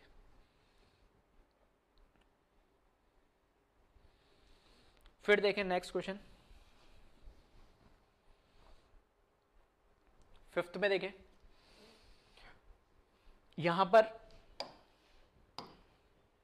कुछ नहीं दे रखा मतलब ये क्या हो गया? सी एस थ्री और बाय डिफ़ॉल्ट ये हो गया हाइड्रोजन एक कार्बन पे तो दोनों वैलेंसी अलग है, लेकिन इस पे भी दोनों हाइड्रोजन है, इस पे भी दोनों हाइड्रोजन इस पे भी दोनों हाइड्रोजन इस पे दोनों हाइड्रोजन तो किसके रेस्पेक्ट में बात करें? कम से कम दो कार्बन होने चाहिए, दोनों पे कोई सब्सटेंट होने चाहिए. लेकिन यहाँ पे एक ही कार्बन है जिसपे सब्सटेंट है तो यहाँ पर कोई GI की बात हो ही नहीं सकती है. ठीक है? फिर इसी तरीके से इस पे बात करें तो इस पे देखिए आप इस कार्बन पे एक मिथाइल एक बाय डिफ़ॉल्ट हाइड्रोजन एक मिथाइल एक बाय डिफ़ॉल्ट हाइड्रोजन एक मिथाइल एक by default hydrogen sp3 carbon होना चाहिए sp3 है।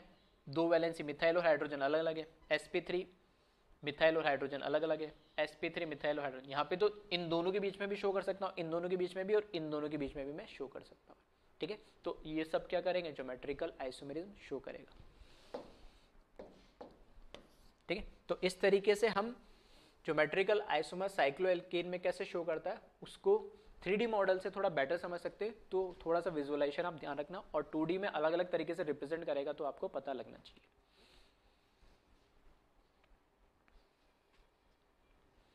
चलो, अब आगे बढ़ते कॉपी कर लिया तो। अब बात कर रहे हैं हम, ठीक है? सिंगल डबल बॉन्ड में देख लिया हमने क्यूमिलीन में देख लिया साइक्लोएल्केन में देख लिया। अब बात कर रहे हम स्पायरो कंपाउंड की। स्पायरो कंपाउंड क्या होते दो साइक्लिक रिंग एक कॉमन कार्बन से आपस में जुड़ जाए तो हम उनको क्या बोलते हैं? स्पायरो। ठीक है? दो साइक्लिक रिंग इन एक कॉमन कार्बन से जुड़ जाए तो हम उसको क्या बोलते हैं? स्पायरो। अब ऐसे दो रिंग भी हो सकती है, तीन भी हो सकती है, चार भी हो सकती है, कितनी भी। मतलब एक, वो रिंग्स जो आपस में जुड़ी हुई, एक कॉमन कार्बन एटम से जुड़ी हुई होनी चाहिए। तो वही यहाँ पे लिखा है। Two rings connected with each other from one common carbon atom is known as spiro ठीक है? इज़ कॉल्ड स्पायरो अब ऐसा नहीं है कि यहाँ पर सिर्फ़ दो ही रिंग कनेक्ट हो सकती है ठीक है? वो से दो से ज़्यादा भी हो सकती है, लेकिन जो भी रिंग कनेक्टेड है, वो एक कॉमन कार्बन से ही कनेक्टेड होना चाहिए। तो अब यहाँ हम बात करते हैं स्पायरो के अंदर क्या जीआई शो करता है? क्या स्पायरो के अंदर जीआई शो करता है, वो हमें देखना है। तो पहले इसको कॉपी करें, फिर हम क्वेश्चन से स्टार्ट करते हैं डायरेक्ट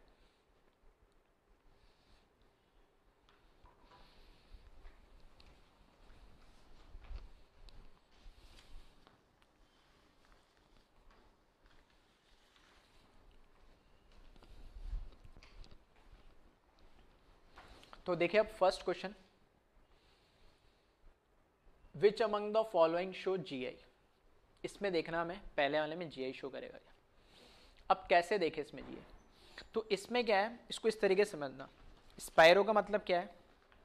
जैसे मैंने क्या है, ये दो रजिस्टर लिए फोर मेंबर साइक्लिक रिंग है ना तो यहाँ पे मैंने फोर मेंबर ले लिए। ये रजिस्टर है, हर एक कॉर्नर एक कार्बन को क्या कर रहा है रिप्रेजेंट कर रहा है, ये बॉन्ड बना दी मैंने। इसी तरीके से ये भी फोर मेंबर रिंग अब ये दोनों इस तरीके से जो कनेक्टेड है, मैंने माना कि ये जो रिंग है इस प्लेन में, ठीक है बोर्ड के प्लेन में, और ये जो रिंग है इसके साथ जब कनेक्टेड होगी तो इसके परपेंडिकुलर प्लेन में इस तरीके से कनेक्टेड होगी। तो बोर्ड पे तो आपको दोनों ऐसे दिख रही है, लेकिन ये एक्चुअल में ऐसे कनेक्टेड है। क्यों? तो आप इसको और बेटर समझ सकते हैं।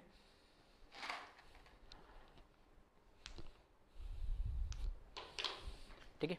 तो यहाँ पर अगर ध्यान से देखें इसको जब ये, मैं बोल रहा हूँ, ये जो कॉर्नर है, मैं बोलता हूँ एस sp3 होगा, ठीक है sp3 थ्री ये बॉन्ड और ये बॉन्ड दोनों एक प्लेन के अंदर है, ठीक है। अब एक sp3 थ्री तो एक बॉन्ड एक प्लेन के बाहर होगा और एक प्लेन के अंदर होगा। तो ये जो कार्बन है ना, मैंने ये लिया, ये कार्बन इस तरीके से। तो ये कार्बन की जो दो बॉन्ड है, ठीक है, कौन से दो बॉन्ड एक ये बॉन्ड और एक ये जो नीचे के साइड आ रहा है, ये दोनों प्लेन के अंदर है। एक हाइड्रोजन बाहर आ रहा है और एक हाइड्रोजन अंदर आ रहा है। इस तरीके से। ठीक है? सेम कहानी यहाँ पर हो जाएगी। ठीक है? सेम कहानी यहाँ पर हो जाएगी। अब सेम कहानी इधर भी तो ऐसे ही होता है। एक प्लेन के बाहर, एक प्लेन के अंदर। ये दो बॉन्ड प्लेन में और एक, ये दो हाइड्रोजन दिख रहे एक प्लेन के बाहर और एक प्लेन के अंदर। ये जो इस तरीके से है। अब यहाँ पर मैंने क्या करा? हाइड्रोजन कनेक्ट नहीं करके। हाइड्रोजन कनेक्ट नहीं करके यहाँ पर मैंने क्या कनेक्ट कर दिया? दूसरे, एक और रिंग कनेक्ट कर दी। तो इसके ये जो दो बॉन्ड है, ये आपको कैसे, ऐसे नज़र आ रहे ठीक है? जो ये है। मैंने बोला ना, एक बाहर और एक अंदर तो ये इस तरीके से नज़र आ रहे हैं। ऐसे आप जब इस इस तरीके से रोटेट करके देखेंगे तो ये। ठीक है? तो मैंने बोला, जब ये फोर मेंबर रिंग है, इस प्लेन में मैंने इसको पकड़ा। इस प्लेन में पकड़ा तो इस कार्बन की भी दो वैलेंसी एक आगे एक पीछे होनी चाहिए, जैसे सारे कार्बन की है। ठीक है? तो इस कार्बन की जगह मैंने यहाँ पर दो हाइड्रोजन ना लगा के ये रिंग कनेक्ट करी तो इस तरीके से कनेक्ट होगी। ठीक है? पूरा थ्री में विजुलाइजेशन कराने की मैं कोशिश कर रहा हूँ। ठीक है ये। और इसको जब रोटेट कर दोगे, जब ये ऐसे नज़र आएगी तो ये ऐसे हो जाएगी। ठीक है? तो दोनों एक दूसरे के कैसे है? परपेंडिकुलर प्लेन में। तो यहाँ पर मैंने बोला, ये आपके अगर ये वाला आपको प्लेन में नज़र आ रही तो ये इसके परपेंडिकुलर प्लेन में ऐसे नज़र आएगी। तो सेम कहानी है। अब इस वाली रिंग की बात करूँ तो इस रिंग में जब ये वाले कार्बन की बात करूँगा टर्मिनल वाली तो ये वाला जो कार्बन होगा, ठीक है? ये वाला जो कार्बन होगा कैसे होगा? ये दोनों इस प्लेन के अंदर है। तो एक प्लेन के ऊपर और एक प्लेन के कैसे होगी? नीचे होगी, यानी इस तरीके से। ठीक है? एक प्लेन के ऊपर और एक प्लेन के नीचे। एक और अगर मुझे आगे रिंग कनेक्ट करनी हो ना तो रिंग कनेक्ट करनी हो तो वापस उसी प्लेन में आ जाएगी। कैसे? इस प्लेन के अंदर, इस तरीके से। तो ऑल्टरनेट चलता जाएगा। जैसे मैं बोल रहा हूँ ऑल्टरनेट कैसे? ये रिंग ऐसे, फिर इससे कनेक्ट करी, फिर मैंने ऐसे। फिर इसके आगे एक और रिंग कनेक्ट करनी है तो वापस वो ऐसे ही कनेक्ट होगी। फिर इसके आगे कनेक्ट करनी है तो फिर वापस वो ऐसे ही कनेक्ट होगी। इस तरीके से चलती जाएगी। ठीक है? अब थोड़ा विजुलाइजेशन हो गया तो यहाँ पे बोर्ड पे हम बात करते इस पर मुझे चेक करना है ज्योमेट्रिकल आइसोमेरिज्म कैसे है। तो इन केस में तो पहले आप क्या करें? सिंपल देख ले आप। किसी भी एक रिंग को पकड़ ले। ठीक है? किसी भी एक रिंग को पकड़ ले और एक रिंग के अकॉर्डिंग देख ले, उसमें ज्योमेट्रिकल आइसोमेरिज्म आ नहीं रहा है। एक रिंग को कैसे? अभी हमने पढ़ा सब्सटीट्यूटेड साइक्लो एल्केन तो एक रिंग को साइक्लो एल्केन माने आप। साइक्लो एल्केन माने तो कोई सी भी रिंग पकड़े। फॉर एग्ज़ाम्पल ये लेफ़्ट वाली रिंग पकड़ रहा हूँ मैं ना? तो लेफ़्ट वाली रिंग को मैं जब ड्रॉ करूँगा, इस तरीके से। ये लेफ़्ट वाली रिंग ड्रॉ करी। अब इसमें एक तो मिथाइल आ रहा है और एक बाय डिफ़ॉल्ट होगा हाइड्रोजन अब मुझे ये चेक करना है, मुझे ये चेक करना है कि इसकी जो दो वैलेंसीज अलग अलग है क्या वो सेम है या अलग अलग है? तो कैसे जैसे हमने क्यूमलिन में भी चेक करा था और आ, हमने कैसे डबल बॉन्डेड कार्बन में भी चेक करा था। तो कैसे भी आप कर लो इसको जैसे आपने ये ड्रॉ करी लाइन यहाँ से मैंने क्या करा इसको कट कर दिया। इस तरीके से मैंने इसको कट कर दिया। ये कार्बन दोनों के लिए कॉमन है। अब यहाँ पे कार्बन आ रहा है यहाँ पे कार्बन आ रहा है।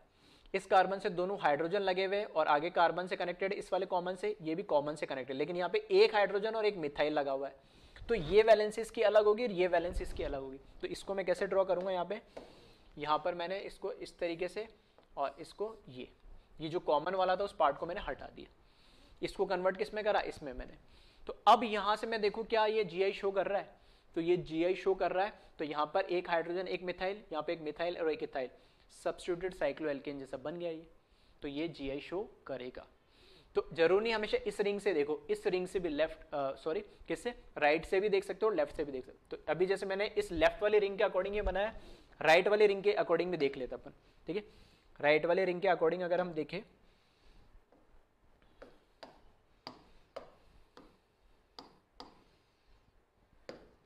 राइट वाले रिंग के लिए अब क्या करूँ, इसको एज इट इज़ रहने दूँ और इसको हाफ़ कट कर दूँ मैं।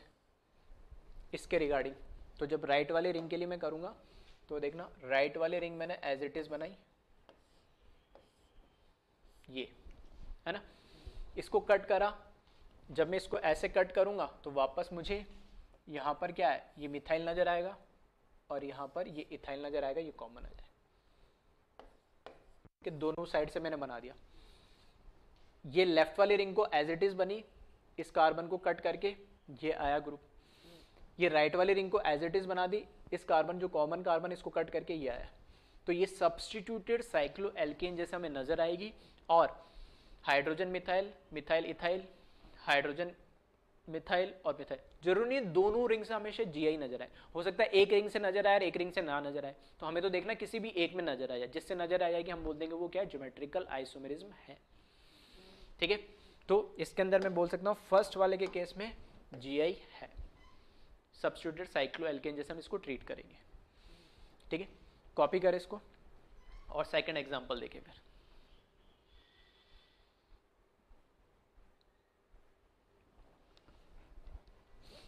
ठीक है?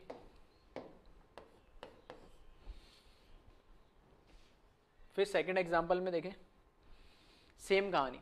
अगर मैं यहाँ से लेफ़्ट वाली रिंग को एज इट इज़ रखता हूँ ठीक है, दोनों साइड से आप चेक कर सकते हो, मैं तो एक ही चेक कर रहा हूँ, किसी से बन जाए। लेफ़्ट वाली रिंग को एज इट इज़ रख सकते और यहाँ से जो कॉमन है, उसको कट कर देंगे, ठीक है, इतने पार्ट को। तो यहाँ पर मुझे क्या बचेगा? इधर आएगा ऑक्सीजन और इधर आएगा सिर्फ़ मिथाइल सही है? इधर ऑक्सीजन और इधर मिथाइल एक कार्बन पे तो दो अलग अलग वैलेंसी वैलेंसी लेकिन कोई दूसरा कार्बन है ही नहीं जिसपे अलग अलग वैलेंसी हो। ठीक है? इस साइड से तो नहीं आ रहा है। एंड दूसरे साइड से भी चेक कर ले अपन। यहाँ पे मैंने क्या बनाया? ये ऑक्सीजन बनाया। ये साइक्लिक इस तरीके से बना दिया। उसको जब कट करेंगे तो यहाँ पे भी कोई अलग अलग वैलेंसी तो वैसे आ नहीं रही है। ठीक है? इसको जब कट करेंगे तो यहाँ से इधर भी मिथाइल और इधर भी मिथाइल ही मिलेगा। तो यहाँ पर तो दोनों ही वैलेंसी क्या होगी? सेम होगी। तो इस केस में यहाँ पर जीआई शो नहीं करेगा। आ रहा है, समझ में किस तरीके से कर रहे हैं। तो दोनों रिंग से आप चेक कर सकते हैं, दोनों में से एक में भी मिली तो हम क्या बोलेंगे? जीआई होगा। तो यहाँ पे भी, इसमें भी जीआई नहीं है और उसमें भी जीआई नहीं है जबकि ऊपर वाले केस में, ठीक है? यहाँ से भी जीआई ठीक है? ये भी जीआई शो कर रहा था, ठीक है? यहाँ पे भी जीआई शो कर रहा था और यहाँ से भी जीआई शो कर रहा था, जबकि इस वाले केस में यहाँ पे भी जीआई शो नहीं कर रहा है और यहाँ पे भी जीआई शो नहीं कर रहा है, ठीक है? कॉपी करें इस एग्ज़ाम्पल को। और थर्ड एग्ज़ाम्पल अगर आपको दिख रहा है तो खुद से एक बार आप इसको ट्राई कर लें।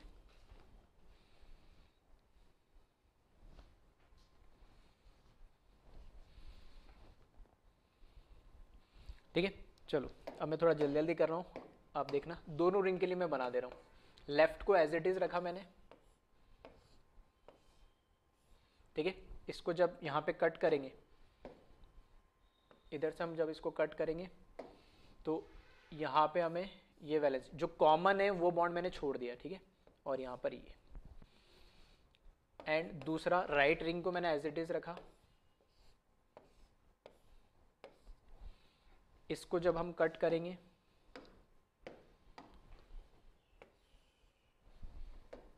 तो यहाँ पे मुझे ऑक्सीजन और यहाँ पे मुझे मिथाइल इसमें चेक करें हम। तो इसमें अगर हम चेक करें तो एक ही वैलेंसी दोनों अलग अलग है और कोई किसी कार्बन पे एटम पे है ही नहीं तो यहाँ पे जीआई शो नहीं कर रहा है। इसके लिए चेक करें हम। तो हाँ इन दोनों पे तो दो दो हाइड्रोजन लगे, लेकिन इस पे हाइड्रोजन और एक मिथाइल लगा हुआ है तो अलग होगी वैलेंसी इस पे एक ऑक्सीजन से कनेक्टेड है और एक कार्बन से कनेक्टेड है तो यहाँ पे जी आई शो कर रहे हैं। तो दोनों में से किसी भी रिंग से आप चेक कर ले दोनों रिंग से आप जब चेक करेंगे तो आपको एक भी से भी मिल रहा है जी तो मतलब उसमें जीआई शो कर रहा है। ठीक है? कॉपी करें इसको। नेक्स्ट एग्जांपल देखिए फिर। फोर्थ वन अब यहाँ पे दो की जगह कितने रिंग कनेक्ट होगी? तीन। ठीक है? अभी भी स्पायरो कॉमन कार्बन एटम से कनेक्टेड है। पहली रिंग, दूसरी रिंग और तीसरी रिंग। अब इसको कैसे दे? दो रिंग तक तो ठीक था। अब इसमें इसको बिल्कुल क्यूमिलीन जैसे ट्रीट करना है, नहीं। तो अभी जो मैं आपको समझा रहा था ना, बस एक्चुअली इसी के लिए समझा रहा था। तो यहाँ पर आप देखिए, जैसे ये पहली रिंग है, ठीक है, ये जो पहली रिंग है, फिर ये दूसरी रिंग है, और फिर यहाँ पर एक और आ जाएगी तीसरी रिंग ठीक है। अब मेरे पास दो ही हाथ है तो मैं दो ही दिखा सकता हूँ एक बार में। तो पहली रिंग ऐसे कनेक्टेड होगी, ये दूसरी रिंग आ गई, और ये तीसरी रिंग अब ध्यान से देखना, जो पहली रिंग है उसके टर्मिनल एटम्स की अगर मैं बात करूँगा, पहली रिंग है, उसके टर्मिनल एटम की अगर मैं बात करूँगा तो ऐसे नज़र आएँगे आपको। ठीक है, एक प्लेन के बाहर, एक प्लेन के अंदर। और जो तीसरी रिंग होगी, उसके अंदर भी टर्मिनल एटम इसी साइड आ रहे थे। ठीक है तो इसके भी प्लेन के बाहर, इसके प्लेन के अंदर। मतलब ये जो टर्मिनल एटम्स है ना, अभी भी किसके अंदर आ रहे? सेम प्लेन के अंदर आ रहे हैं। ठीक है, इसका क्या मतलब है? तो यहाँ पर मेरे समझाने का मतलब ये कि ये जो टर्मिनल एटम्स है ये जो टर्मिनल एटम्स है, ये वाले।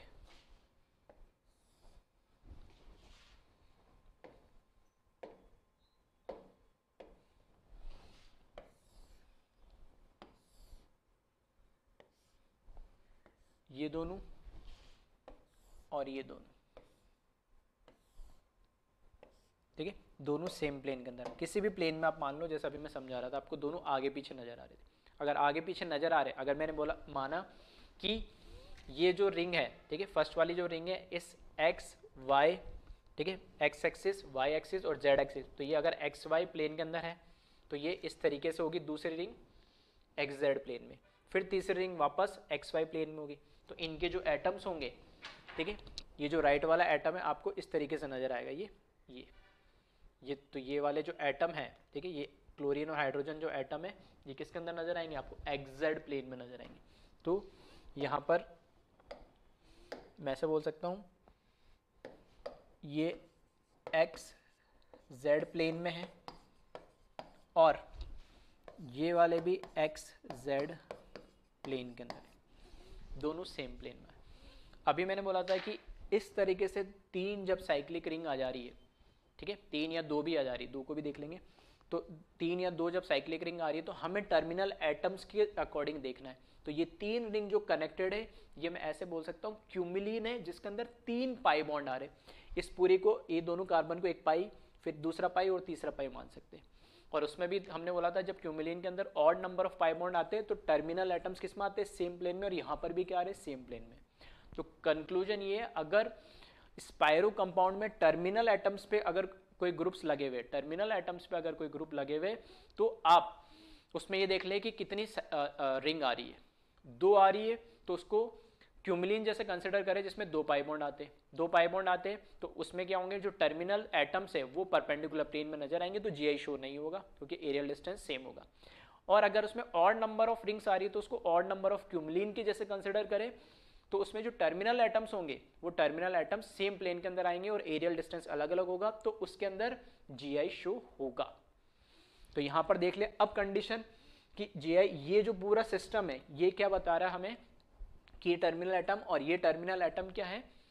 सेम प्लेन में और रिस्ट्रिक्टेड रोटेशन तो है ही साथ में, इस कार्बन पे देख ले, दोनों एटम अलग अलग है। इस कार्बन पे भी देख लो, दोनों एटम अलग अलग है। तो जब दोनों एटम अलग अलग है तो ये जो एरियल डिस्टेंस होगा, ठीक है? चलो मैं बना देता हूँ यहाँ पे। एरियल डिस्टेंस यहाँ से ये एरियल डिस्टेंस कौन सा वाला? ये वाला एरियल डिस्टेंस ठीक है? इसको अगर मैंने बोला L1 और ये वाला एरियल डिस्टेंस इसको मैंने बोला L2 ये दोनों क्या होंगे? अलग अलग होंगे। तो यहाँ पे मैं ऐसे बोल सकता हूँ ये L1 है और ये L2 है। तो यहाँ पर L1 is not equals to L2 क्यों? क्योंकि दोनों सेम प्लेन में और जब सेम प्लेन में होंगे तो ऑब्वियस ये बात है डिस्टेंस क्या होगा? अलग अलग होगा। ठीक है? क्यूमलियन से कंसिडर कर लेना। तो यहाँ पर क्या आएगा? तो यहाँ पे जी आई शो बिल्कुल करेगा। ठीक है? तो इस केस में भी यहाँ पर जी आई आएगा। ठीक है, फिर से वीडियो को रिवाइंड करके ध्यान से देख लेना, सुन लेना क्या मैंने बताया। रजिस्टर की हेल्प से थोड़ा वो रिंग को मैंने बताया किस प्लेन में ठीक है? नियर बाई जो रिंग होगी अपोजिट प्लेन के अंदर होगा ये इस प्लेन में, ठीक है, इस प्लेन में है तो ये फिर इस प्लेन में होगी, फिर वापस ये इस प्लेन में आ जाएगी। तो ये दोनों जब सेम प्लेन में तो इनके टर्मिनल एटम भी क्या होंगे? ऐसे आगे पीछे होंगे, इधर भी आगे पीछे होंगे तो वापस सेम प्लेन में आ जाएँगे। क्लियर है? तो कॉपी करें इसको।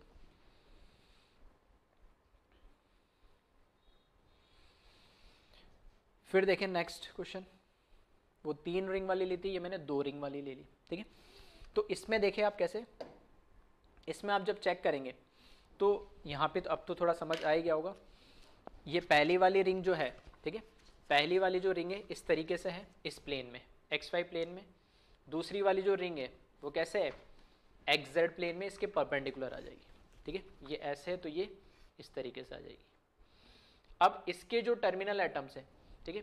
इसके जो टर्मिनल एटम्स होंगे, वो इस तरीके से होंगे। आगे और पीछे तो ये कौन सा प्लेन हो गया? एक्स जेड प्लेन ठीक है? कौन सा प्लेन हो जाएगा? एक्स प्लेन तो मैं यहाँ पे लिख देता हूँ। इसका जो प्लेन है,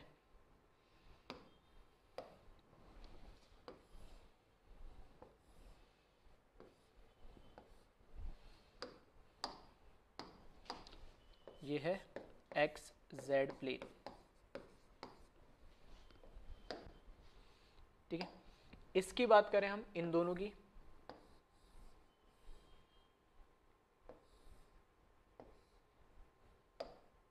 ठीक है? तो फिर से देखें इसमें। ये है तो ये तो हो गया एक्जेड प्लेन इसके साथ आगे जो रजिस्टर लगा हुआ होगा, ये आगे जो रिंग लगी होगी फोर मेंबर रिंग है, ये इस तरीके से कनेक्टेड होगी। तो अब ये रिंग का जो प्लेन है ये खुद एक्जेड प्लेन हो गया। तो इस पे जो टर्मिनल एटम होंगे यहाँ पे, इस पे जो यहाँ पे टर्मिनल एटम होंगे, वो कैसे? इस तरीके से। इस तरीके से लगे हुए होंगे। ठीक है? इस तरीके से। तो ये कौन सा प्लेन हो जाएगा? एक्स वाई प्लेन हो जाएगा। तो यहाँ पे मैं लिख सकता हूँ इसको। ये कौन सा प्लेन हो जाएगा? एक्स वाई प्लेन और ये जब एक्जेड प्लेन है, ये एक्स वाई प्लेन है तो दोनों प्लेन के कैसे ऐसे परपेंडिकुलर आ गए तो फिर एरियल डिस्टेंस दोनों का क्या होगा? सेम होगा। तो यहाँ से मैं बता सकता हूँ कि ये अगर L1 डिस्टेंस है, ठीक है? ये अगर L1 डिस्टेंस है और ये अगर L2 डिस्टेंस है तो ये दोनों ही डिस्टेंस क्या होंगे? सेम होंगे। ये L1 और ये L2 तो यहाँ पे L1 one is equal to L two तो नो जी आई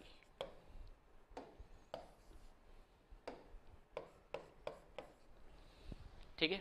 तो फिर से वैसे तो मैंने हिंट बता ही दिया था और कंक्लूजन भी बता दिया था, फिर भी समझा मैंने दिया थ्री में एक्चुअल भी। तो दो स्पायरो रिंग के अंदर, ठीक है? स्पायरो कंपाउंड है दो रिंग वाला तो इसको क्यूमिलिन से कंपेयर करें, जिसमें दो पाई बॉन्ड है, या even number of pi bond है। अगर तीन रिंग आ रही तो ऑड नंबर ऑफ़ क्यूमिलिन से ऑड नंबर ऑफ़ या मैं हम क्या बोलते हैं odd number of pi bond है क्यूमिलिन के अंदर, उससे कंसिडर करें। तो सेम कंक्लूजन सेम रिज़ल्ट मिलेगा। ठीक है? इसको कॉपी करें। चलो, आगे देखते हैं हम। नेक्स्ट देखिए सिक्स वाले में। अब की बार क्या है? अब एक, दो, तीन स्पायरो रिंग तो लगी हुई तो है, लेकिन इन स्पायरो रिंग के टर्मिनल पे हाइड्रोजन यहाँ पे भी टर्मिनल पे हाइड्रोजन तो इसकी वजह से तो जीआई नहीं आएगा ठीक है? इसकी वजह से तो जीआई नहीं आएगा। अब तो फिर क्या पॉसिबिलिटी है? तो इसको जैसे अभी हमने कंसिडर करा था, ठीक है? मिडल वाले रिंग को आप देखें ध्यान से। मिडल वाले रिंग को आप ध्यान से देखेंगे। तो इसको मैंने क्या करा, यहाँ पे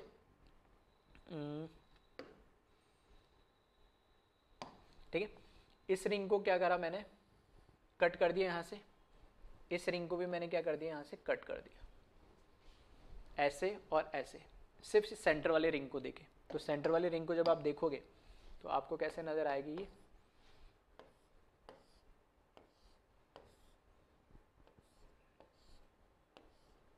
इस तरीके से। ठीक है? किसी भी रिंग से आप चेक कर सकते हैं। फ़र्स्ट वाले रिंग को रखना। इस पूरे को बाकी को कट करके देख देख लेना नहीं। ठीक है? या इसको रखना, बाकी रिंग को कट करके देख लेना। तो मेरे को यहाँ से कट करके देखोगे तो यहाँ पे भी सेम ग्रुप यहाँ पे भी सेम ग्रुप मिलेगा तो सेम ही आएगा। हाँ इस वाले में जब मैंने कट करा तो दोनों साइड तो सेम मिल रहा है। लेकिन इधर भी क्या है? मिथाइल है और इधर भी क्या है? मिथाइल है।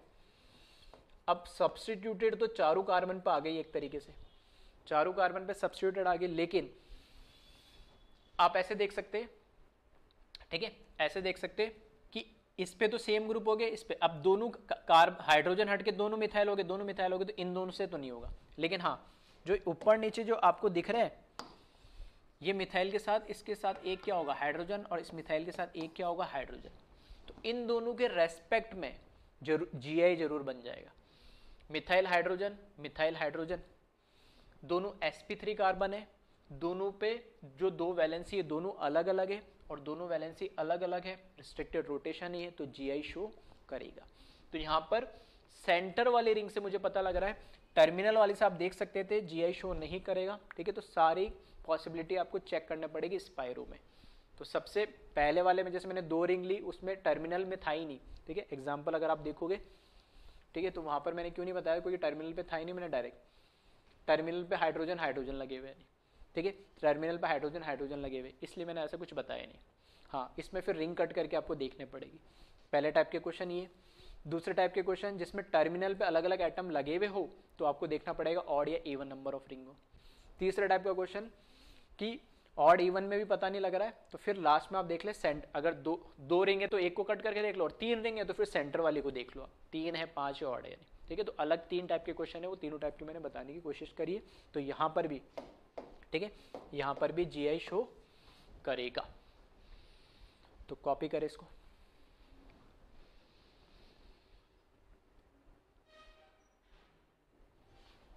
चलो, आगे बढ़ते अब। तो ये तो हुआ सब्सटीट्यूटेड साइक्लोएल्केन और उसी से रिलेटेड मैंने स्पायरो भी बता दिया। अब बात करते हैं हम साइक्लोएल्कीन की। साइक्लोएल्कीन मतलब साइक्लिक कंपाउंड में अनसेचुरेशन आ जाए डबल बॉन्ड आ जाए। ठीक है? तो उसमें क्या कोई जीआई होगा? तो ये स्पेसिफिक है तो इसको याद रखना थोड़ा सा, ठीक है? फ़र्स्ट पॉइंट लिखा है साइक्लो एल्कीन्स ठीक है? फ़र्स्ट पॉइंट लिखा साइक्लो एल्कीन्स हैविंग ठीक है? साइक्लो एल्किस हैविंग सेवन और लेस कार्बन एटम ठीक है? ऐसी रिंग जिसके अंदर सात या उससे कम कार्बन हो cycloalkene cycloalkene having 7 or less carbon atom does not show GI because its trans form is highly unstable and it does not exist in nature.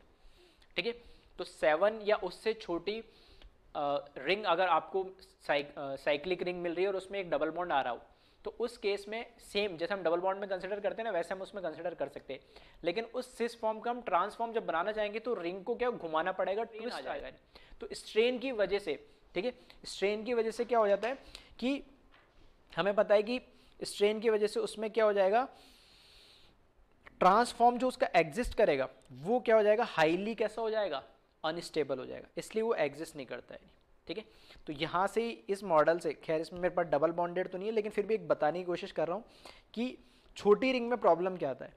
अभी जैसे मैंने ये फोर मेंबर रिंग बनाई है, ठीक है? ये फोर मेंबर रिंग बनाई। तो फोर मेंबर में यहाँ पे तो ठीक है साइक्लो एल्किन लेकिन अगर डबल बॉन्ड होता तो यहाँ पर एक बॉन्ड ऐसा और एक बॉन्ड ऐसा होता है। तो उस केस में क्या होता है, अगर ये दोनों सिस है तो ट्रांस लेने के लिए मेरे को क्या करना पड़ता है, इसको घुमाना पड़ता है और वो घूमते नहीं, क्योंकि इसमें रिंग में क्या आता है, स्ट्रेन आ जाता है इस तरीके से। ठीक है? इसलिए सेवन या सेवन से कम कार्बन एटम की साइक्लो एल्कीन है तो उसके अंदर आपको कभी जे शो नहीं होगा। क्यों? क्योंकि उसका जो ट्रांसफॉर्म होगा अपोजिट साइड जब हम एटम को ले जाएँगे तो उसमें वो हाईली अनस्टेबल हो जाएगा। ये याद रखने सारे पॉइंट सेकेंड पॉइंट लिखा है इसमें cycloalkene having eight to eleven carbon ठीक है? Eight to eleven carbon atom show G I but its cis form is more stable than its trans form due to strain in ring देखो seven से कम तो जी I show करेगा ही नहीं reason same है। Eight से लेके इलेवन तक carbon atom G I show करेगा, लेकिन फिर से उसका जो सिस फॉर्म होगा, वो ज़्यादा स्टेबल होगा ट्रांस से, क्योंकि उसमें एंगल स्ट्रेन आ जाएगा। तो दोनों में डिफरेंस है। सेवन से पहले तो करेगा ही नहीं तो कॉपी करे वीडियो पॉज करके। सेवन से पहले तो करेगा ही नहीं, और एट से इलेवन करेगा, लेकिन उसमें भी सिस फॉर्म ज़्यादा स्टेबल होता है, ठीक है?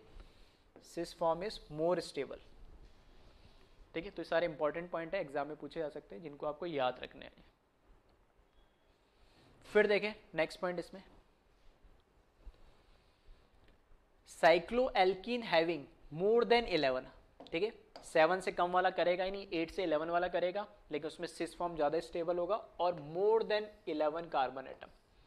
Show GI ये भी जीआई शो करेगा। But its trans form is more stable अब यहाँ उल्टा हो जाता है, क्योंकि रिंग बड़ी होगी, जितनी रिंग बड़ी होती जाती है, ठीक है हमने पढ़ा है कि रिंग जैसे जैसे साइज़ बढ़ती है, ठीक है सेवन या उससे ज़्यादा वाली रिंग तो कैसे नॉन प्लेनर होना स्टार्ट कर देती है।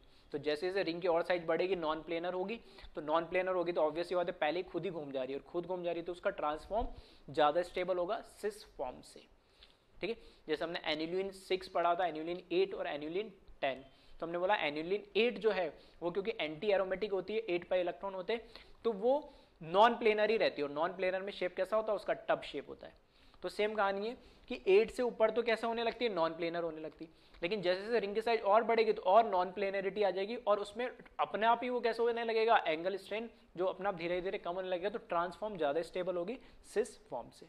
ठीक है? तो ये तीन पॉइंट आपको साइक्लो एल्किन में याद रखना है। तो इसको कॉपी कर ले।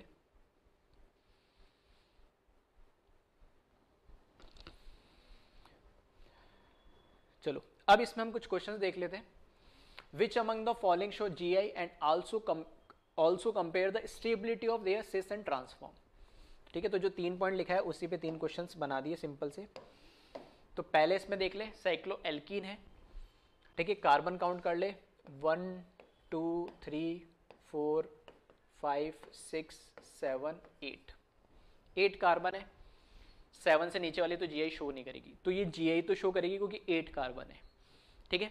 तो यहाँ पर देख सकते हो दोनों हाइड्रोजन सेम साइड अब ऐसे मान लो जैसे अभी हमने देखा था, उस रिंग को कैसे? ऐसे कट कर लो मतलब ये वाला पोर्शन ठीक है? तो यहाँ पे हाइड्रोजन हाइड्रोजन सेम साइड में और ये वाली रिंग का पोर्शन सेम साइड में। तो इसको क्या बोलूँगा? सिस फॉर्म ये हाइड्रोजन इधर आ जाए एक और रिंग का पोर्शन इधर आया तो इसको मेरे को ऐसे कैसे घुमाने पड़ेगी इस रिंग को? तो उसमें क्या आएगा? एंगल स्ट्रेन आएगा यानी। एंगल स्ट्रेन आएगा तो अनस्टेबल हो जाएगा। तो जीआई इसमें एग्जिस्ट करेगा। ठीक है?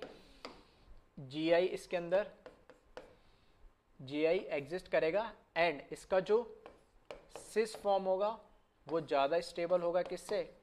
ट्रांसफॉर्म से। ठीक है स्टेबिलिटी की बात करें। ठीक है तो इसको कॉपी करें वीडियो पॉज करके।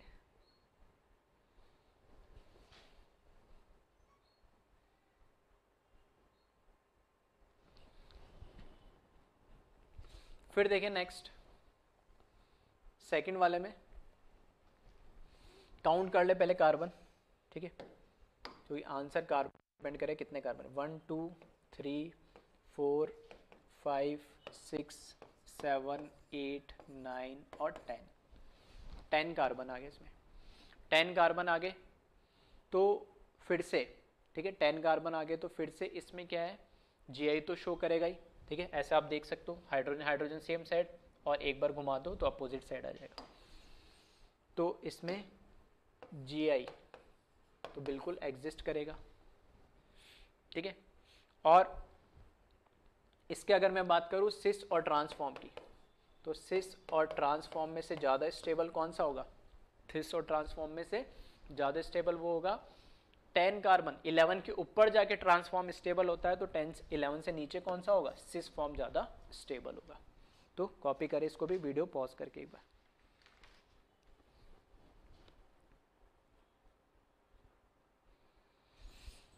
फिर एक और क्वेश्चन देखें इसमें।